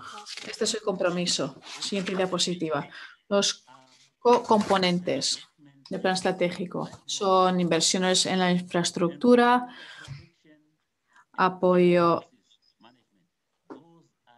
a los medios de vida, la protección ambiental y el manejo de recursos acuíferos. Son ejes del plan estratégico. Siguiente diapositiva, gracias. La preparación del plan estratégico que ahora es el marco principal de planificación, se basó en varios estudios que se llevaron a cabo en esta zona. En el segundo punto se habla del proceso amplio de consulta entre las partes interesadas para todas las actividades en el curso de agua de Zambezi. Siguiente diapositiva, gracias. Ahora, para la aplicación del plan estratégico. Lo que pasó fue que se desarrolló sin un plan de aplicación. A propósito, antes de la aplicación del plan estratégico, hubo que priorizar varias actividades bajo esos pilares que ven a ver las columnas. Por ejemplo, les quería hablar de una iniciativa que estamos aplicando ahora mismo en cooperación con WWF y el apoyo de los Estados Unidos y su departamento USAID, que se centra en el diálogo. Las partes interesadas, digamos, desde Angola o otros países lusófonos de Namibia, otros países anglófonos. Si miramos el espectro entero que cubre Zambezi, lo más seguro es que se puedan cubrir temas que tienen que ver con el desarrollo transfrontalero el desarrollo del diálogo, cómo mejorar la comunicación sobre el sistema transfrontalero que es el Zambezi. Esta es una iniciativa de las muchas. Siguiente diapositiva. Gracias. Algunos de los beneficios previstos Esta es una actividad cooperativa, el desarrollo del Zambezi. Hay muchos beneficios que ven en la imagen que se articularon a través de las consultas multipartes. la mejora de la seguridad alimentaria, los beneficios económicos regionales, la seguridad energética, planificación para las inversiones, enfrentarse a, los, a las amenazas externas, oportunidades de empleo y los beneficios que tienen que ver con la paz. En la parte baja hay una barra con las banderas de los ocho países. Luego tenemos la NIDA, el Banco Mundial, G y Z, etcétera. Con estos ocho países lo que necesitamos es una asociación, asociados que cooperen a nivel internacional, organizaciones asociadas. Y es así que estamos trabajando en el curso de agua de Zambezi. Y esto es esencial para el, el manejo multipartes de nuestros ríos. Muchísimas gracias. Estas son las cascadas de Victoria Falls, que son muy importantes a nivel de turismo. Muchísimas gracias por su atención. Muchas gracias, señor Queseque. Muy interesante y bastante pertinente su contribución. El último panelista será el señor Nelson Alex Tawa Majoa del pueblo Quichua de la ONG Inti Anka Taripay. Señor Tawa tiene una amplia experiencia como investigador y actualmente tiene el cargo de director hospital en el Ministerio de Agricultura y Ganadería en Pastaza, Ecuador. Pero hoy participa como representante de las partes interesadas en el terreno. Señor Tawa va a tratar el tema de cómo los pueblos indígenas ven la relación entre el medio ambiente y el bienestar, el bienestar humano y cómo se refleja en sus costumbres y tradiciones. El título de su presentación es la importancia de los bosques, los ríos y la pesca para los pueblos indígenas. Señor Tawa, por favor. Alipunja, John, Ashley, eh, gracias por esta invitación. Nuevamente agradecerle. Mi tema de parte de esta exposición también soy parte de esta vida cotidiana que hemos vivido. Yo quisiera plasmar el, eh, el desarrollo de las actividades, las costumbres que hacen en, las, en los pueblos indígenas de aquí de la cuenca de Pastaza. Quisiera compartirle las experiencias. Es importante conocer las vidas de los pueblos indígenas. Por eso eh, yo he tratado de hacer un poquito eh, resumido. Eh, voy a explicarle cómo es la vivencia, por qué nosotros tomamos en nuestra cosmovisión indígena la importancia de bosques, la importancia de los ríos, la importancia de pesca en, en, la vida cotidianidad de, de diferentes nacionalidades aquí en la provincia de Pastaza.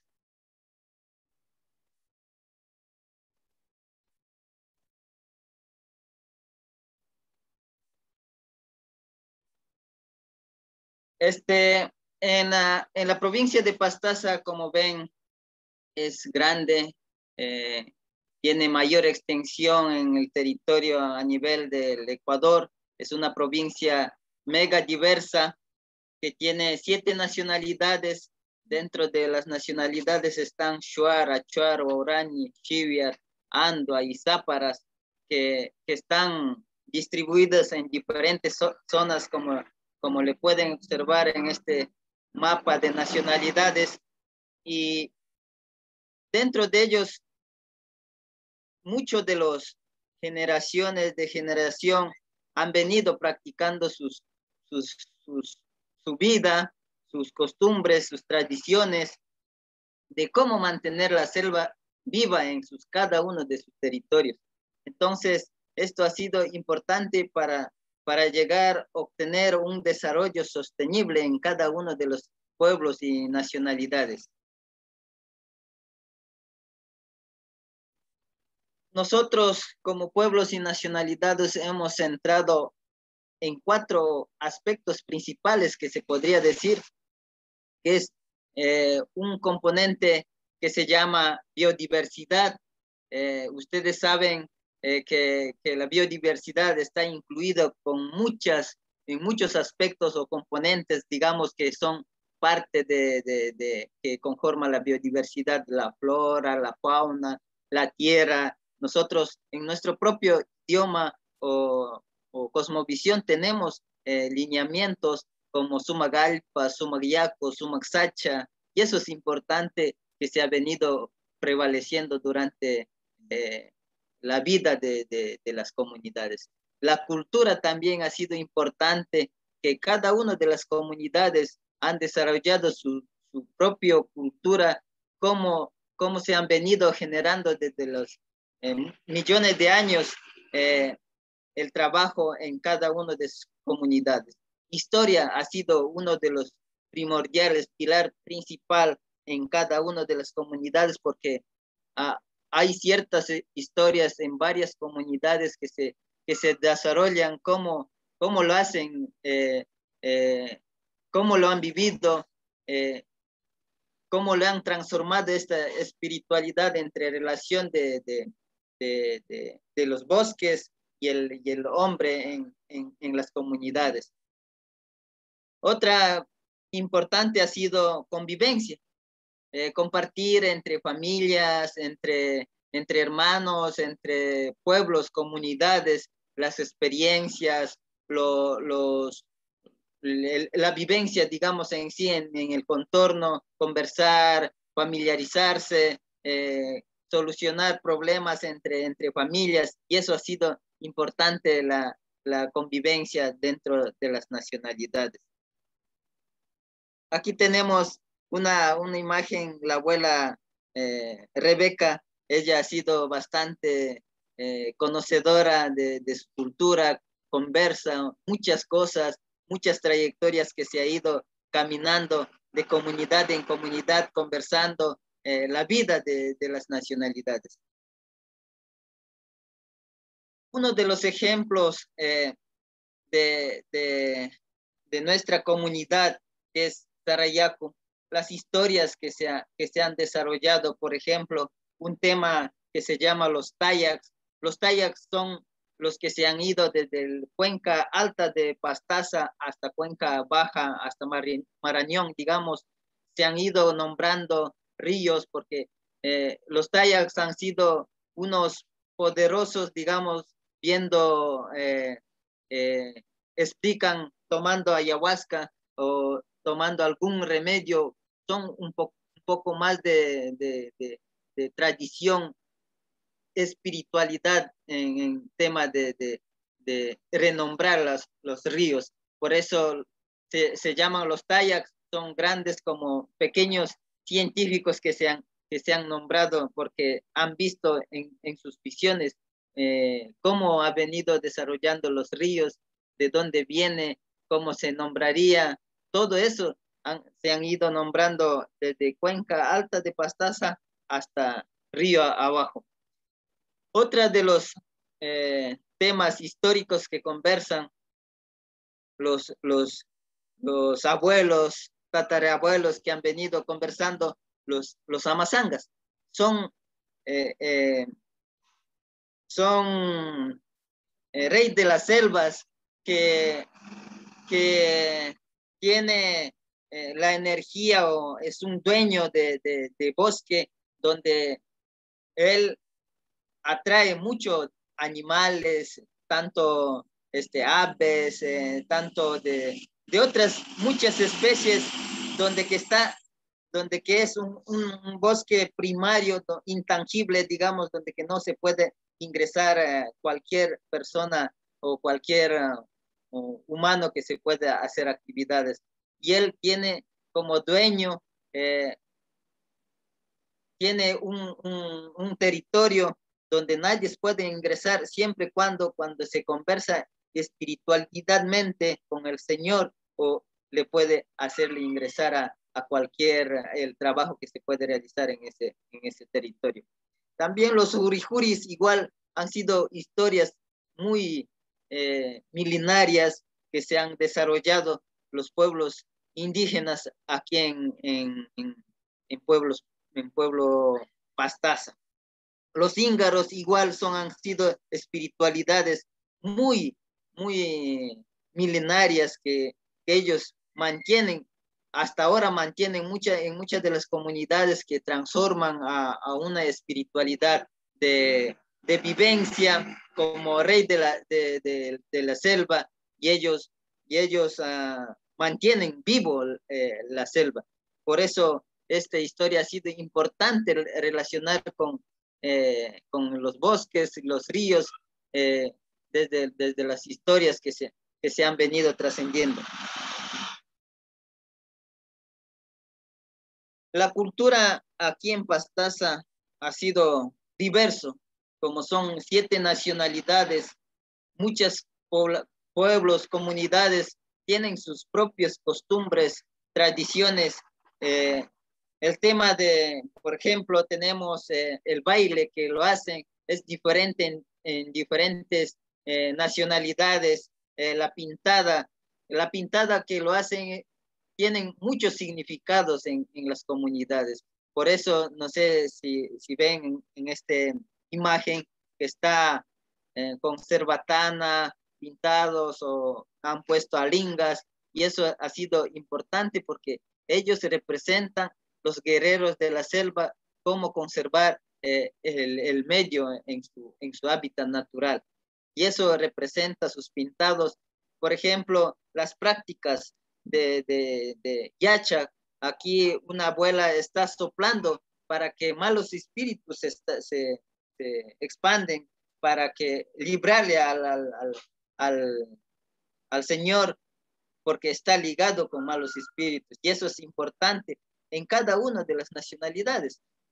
Con eso han vivido, han generado muchos, muchas eh, yachas, digamos, que, que han pasando de generación en generación y eso ha sido importante prevalecer y fortalecer su vida cotidiana en, en cada uno de sus territorios. Otro es los trajes.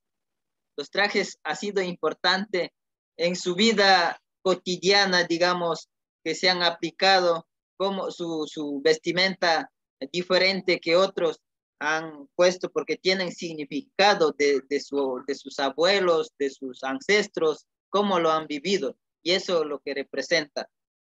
En total, la, la etnobiología ha estado eh, centrada en las nacionalidades porque conocen muchas de las especies, eh, los, que, los que están puestos conocen en sus propios, propios idiomas, propias lenguas que, que, que aplican en, en, en, su, en la, en la vida de cotidianidad. Y eso ha sido importante. Hasta ahora mantienen muchas de las comunidades y otras cercanas que, están eh, en, en, la parte carretera eh, donde que hay explotación minere, minera, se van perdiendo, porque no han, el, la parte carretera han ingresado muchos de los eh, estos madereros eh, invaden, hay impacto social, ambiental, y ahí, y ahí es cuando se, la comunidad, su, su supervivencia o su, su, su vida armonía se, se extiende. Su, ah, desde, desde, la, desde hablante de su idioma ya se va perdiendo porque ya vienen a conversar en español o en inglés y eso se van aprendiendo los, los, los niños, los jóvenes, y se va cada vez perdiendo eh, en, en, la parte alta de Cuenca de Pastaza. Otro de los aspectos importantes ha sido la convivencia y agricultura. En nacionalidades eh, aquí en la Amazonía, netamente en la provincia de Pastaza, eh. Como ven en las imágenes, ellos comparten, hacen chicha, chichas son masticadas de, por las mujeres, cocinando desde, desde los niños, eh, niñas, mamás, lo preparan porque eso ha sido la costumbre eh, de compartir entre familias, entre hermanos, entre comunidades, porque ahí es cuando transmiten ciertas experiencias de saberes ancestrales, eh, conservación de semillas, desde cuántos años han venido conservando en su, en su localidad. Cada uno de, de, de las comunidades tienen semillas ancestrales que vienen haciendo desde muchos años atrás que han venido conservando. Y eso ha sido importante en el territorio porque aquí eh, las comunidades, la agricultura no ha sido en gran extensión territorial, sino ha sido un pequeño media hectárea, pero que sea una agricultura de, de, diversidad de, de agroecosistemas. Están tanto frutales, maderables, eh, eh, cultivos que, que, tienen netamente eh, endémicas de, de, la zona. Y eso han mantenido y en algunas comunidades se ha, se ha venido perdiendo. Otro de las convivencias es el tema de, tejer, tejer las mocahuas. No sé, están viendo aquí una, una mujer, mi, mi tía, está tejiendo una mocagua eh, que está pintando, representando muchos de los esos tejidos representan a los animales, a los eh, eh, digamos que son espirit espiritualmente que se han visto y eso lo que brindan con esa preparación de mocagua brindan chicha y eso ha sido importante conservar en cada una de las nacionalidades. Luego convivir con, con los animales, como el niño está teniendo un, un um, ardilla que tiene y él convive, conoce y, y así armónicamente vive en, cada una de las comunidades. Y eso ha sido para nosotros prevalecer la cultura viva, eh, como decirle, el selva está vivo, intacto, digamos que no como humanos no hemos estado impactando en gran extensión de territorio en, en, la Amazonía. Y eso ha sido importante, vivir armónicamente. Otro de los, de los convivencias ha sido cómo tejer eh, eh, eh la canasta con los medios de, de, de, de, la comunidad mismo que se han venido tejiendo. Por ejemplo, aquí tenemos una canasta que es un bejuco liana que fabrican netamente los hombres y, y lo hacen en muchas formas o figuras las canastas para diferentes actividades, sea pesca, caza o para la agricultura, para, como para cargar ciertas yucas, plátanos, papachina, piña, caña, y eso, y eso ha sido importante en, en cada una de esas comunidades. El saber ancestral ha sido importante porque los abuelos, abuelas, tatarabuelos ya se han venido deteriorándose hoy en día. Cada vez se va menorando los costumbres porque, eh, como les mencioné anteriormente, han venido eh, transnacionales a explotarle maderera, minería, petróleo, y eso ha venido a desvanecerse, ¿no? que no hay una vida de, de armónico entre, entre comunidades y nacionalidades. El tema de pesca ha sido una relación importante eh, en las comunidades dentro de, un pueblo. Cada nacionalidad tiene su técnica o mecanismo o práctica que se desarrolla para pescar, para, para realizar diferentes actividades. Conocen muchas especies en sus idiomas. Nosotros conocemos cerca de 277 especies en nuestro idioma y nos faltaría eh, comparar eh, qué, especies hablamos en, en, en, este, científicamente, cuáles especies serían y no hemos hecho falta mucha exploración eh, dentro, sea de flora, fauna, eh, este, ictiología, en este agua dulce ha habido muchas especies. Nosotros como nacionalidades hemos tenido un una estatuto, digamos, una ordenanza, pequeña ordenanza comunitaria, donde cada, no permitirle primero eh, las dinamitas, explosión con dinamitas, barbascarle hasta cierto punto, eh, comer para tener, para tener eh, su, seguridad alimentaria, pescarle en tal lugar, pero mancomunadamente. Y eso ha sido importante para compartir todas las experiencias con, con, el, con el fin de, de que conservar a muchos de los recursos que se está perdiendo en nuestras comunidades, a, que las eh, generaciones que vienen atrás vean las especies que existen en nuestras comunidades. Eso ha sido importante en el tema de caza. Por ejemplo, el jambi.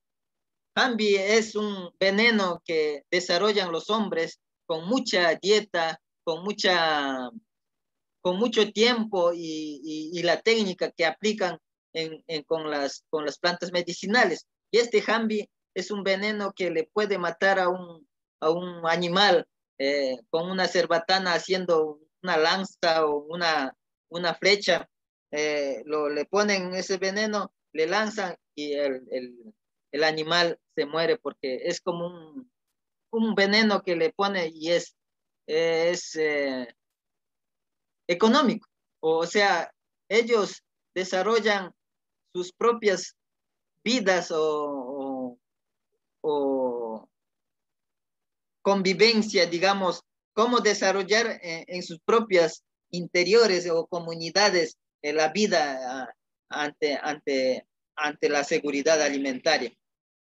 Otro caso ha sido Bodequera, quienes ellos han aplicado para su caza y pesca, lanza, anzuelo, flechas, y eso han sido importante en, en las comunidades y nacionalidades.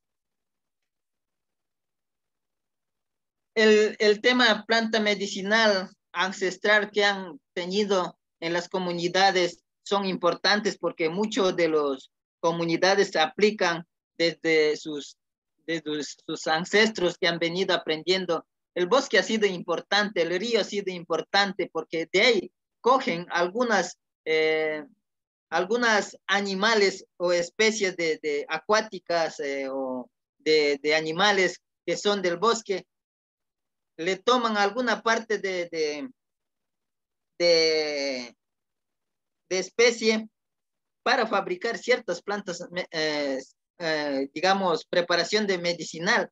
Y esto ha curado a muchas de las, de las, en muchas de las comunidades estas prácticas tradicionales que, que lo hacen en temas de planta medicinal. Y ellos desarrollan netamente. Hay muchas especies de plantas medicinales que conocen en, en sus idiomas. Y nosotros eh, como parte de, este, de esta exploración que estamos haciendo, no conocemos. Y hay muchos abuelos conocen y eso ha sido importante prevalecer en, cada uno de sus territorios. Como conclusión, en la provincia y recomendación, digamos, en la provincia que estamos viviendo con, como siete nacionalidades, ha sido conservar el Sacharuna Yachay, eh, fortalecer, preservar, explorar la cosmovisión indígena que tienen las nacionalidades aquí en la provincia. Y otro ha sido en, recomendarle que, la, gobernanza sea autónoma con la cosmovisión de las con la cosmovisión de indígenas es muy importante para llegar a, a un desarrollo sostenible porque Aquí en cada uno de sus territorios mantienen su cultura viva, su tradición, su, su, cosmovisión, manejan en cada uno de sus territorios y eso ha sido importante para que otras transnacionales no afecten a las comunidades, porque esto, preservar su idioma, preservar su cultura ha sido importante en, en, en las comunidades. Otro ha sido el, el conocimiento ancestral y occidental es importante conocer hoy en día en la actualidad, ya que la globalización va cada vez aumentando a nivel del mundo, eh, que las nacionalidades también conozcan cómo está suscitando a nivel del mundo y la realidad que está pasando con el cambio climático.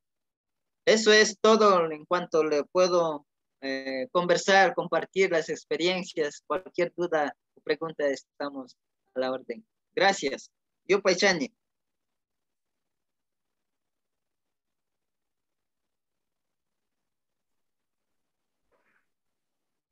Thank you very much, Mr. Muchísimas gracias, señor Dahua, por una presentación tan importante e inspiradora y estoy muy agradecida por haber podido escuchar su perspectiva como parte de la reunión de hoy. Quisiéramos dar las gracias a todos nuestros oradores y es un placer para mí presentarles a la directora de la División eh, Forestal de la FAO, Mete Wilke, para escuchar las palabras de clausura. Tiene usted la palabra.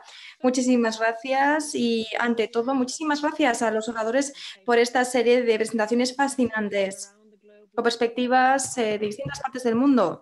Vemos que, a pesar de los retos, es muy valioso fomentar la colaboración intersectorial entre ecosistemas. También quisiera dar encarecidamente las gracias al público por sus comentarios, preguntas y entusiasmo. Todos nos beneficiamos de los debates eh, muy fructíferos que están teniendo lugar en el chat y espero que los panelistas tengan tiempo de contestar algunas de sus preguntas y también espero que este debate prosiga en el futuro. Hoy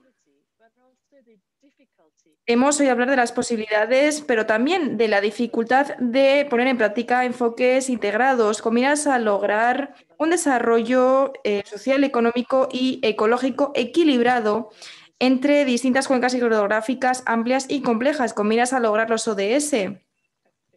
No solo hay que eh, pensar de forma interdisciplinaria y eh, dar con soluciones innovadoras, sino que también es igualmente importante garantizar una participación lo más amplia posible de las distintas partes interesadas, como se nos ha dicho.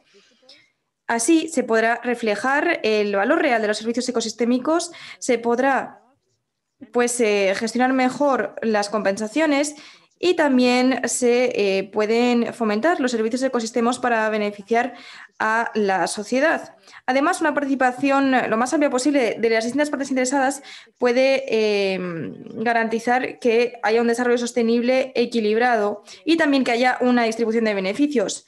De hecho, muchas de las estrategias exitosas priorizan la cogestión junto con las comunidades locales, aprovechando sus amplios conocimientos locales sobre las funciones del ecosistema, la biodiversidad y las prioridades de esas comunidades para dar con mejores medidas de restauración y eficaces el nuevo marco estratégico de la FAO, enfocado en una producción, nutrición, vida y medio ambiente mejores, está bien adaptado para abordar estas cuestiones y ayudar a los países a lograr en particular el ODS 14, vida submarina, y también el ODS 15, vida eh, sobre la Tierra. Y como hemos visto hoy, la gestión de los ecosistemas eh, de agua dulce es una cuestión interdisciplinaria. Las iniciativas de la FAO a favor de trabajo multidisciplinario han dado lugar a este evento conjunto de actividad forestal y pesquera y esperamos celebrar actividades conjuntas adicionales con el respaldo del Fondo Multidisciplinario de Zambia, Colombia y Papua Nueva Guinea.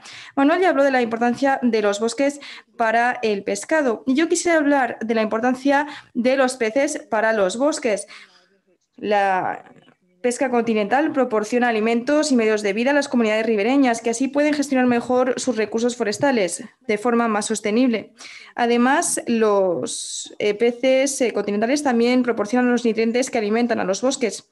El salmón pacífico transporta nutrientes a cientos de kilómetros desde los océanos a eh, pues, las riberas eh, de los ríos en los bosques donde desoban y mueren. Los nutrientes de estos peces se transfieren a los suelos, ahí se alimentan los árboles y crecen gracias a esos nutrientes. De forma similar, eh, los caimanes en el río Amazonas se alimentan en lagunas productivas y luego se desplazan a zonas menos productivas, fertilizando bosques en llanuras inundables. Mm, en muchos ríos tropicales tenemos eh, peces que se alimentan de frutos y luego dispersan sus semillas. Es decir, que se convierten en motores fundamentales de la restauración de los bosques. La gran biodiversidad que representa la pesca continental contribuye a la salud general de los sistemas forestales. Muchos grupos consideran la pesca y la conservación de la biodiversidad como objetivos enfrentados, pero hay experiencias que muestran que la pesca continental y la conservación de la biodiversidad son dos cuestiones que se pueden reforzar mutuamente.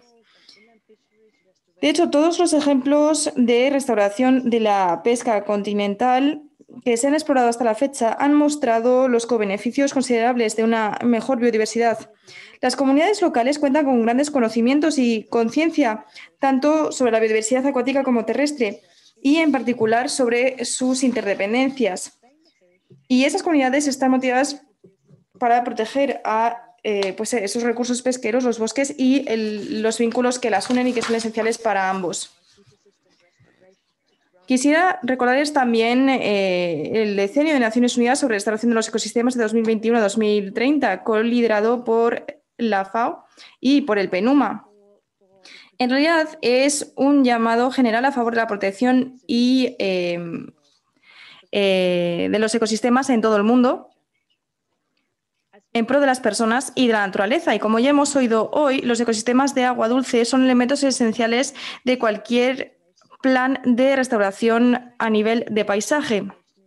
Este decenio sobre la restauración de los ecosistemas es una oportunidad para traer distintos datos, la información, la experiencia existente en la FAO y en otras organizaciones, incluyendo datos sobre pesca, agricultura, silvicultura y recursos hídricos.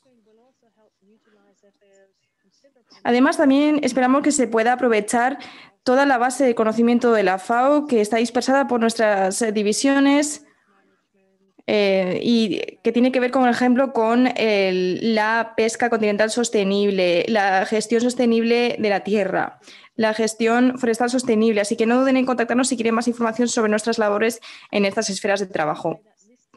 También quisiera decirles que ese decenio sobre restauración de los ecosistemas proporciona también una oportunidad única para que los bienes y servicios que proporcionan estos ecosistemas de agua dulce sean más visibles en la esfera política y les insto a todos a que lo aprovechen.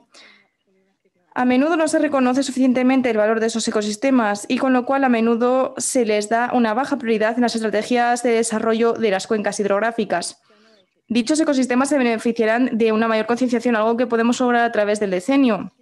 Y esa concienciación tiene que ver sobre todo con eh, la repercusión que tiene eh, pues el uso de la tierra y de los recursos hídricos entre cuencas hidrográficas y de la necesidad de tener una gestión integrada.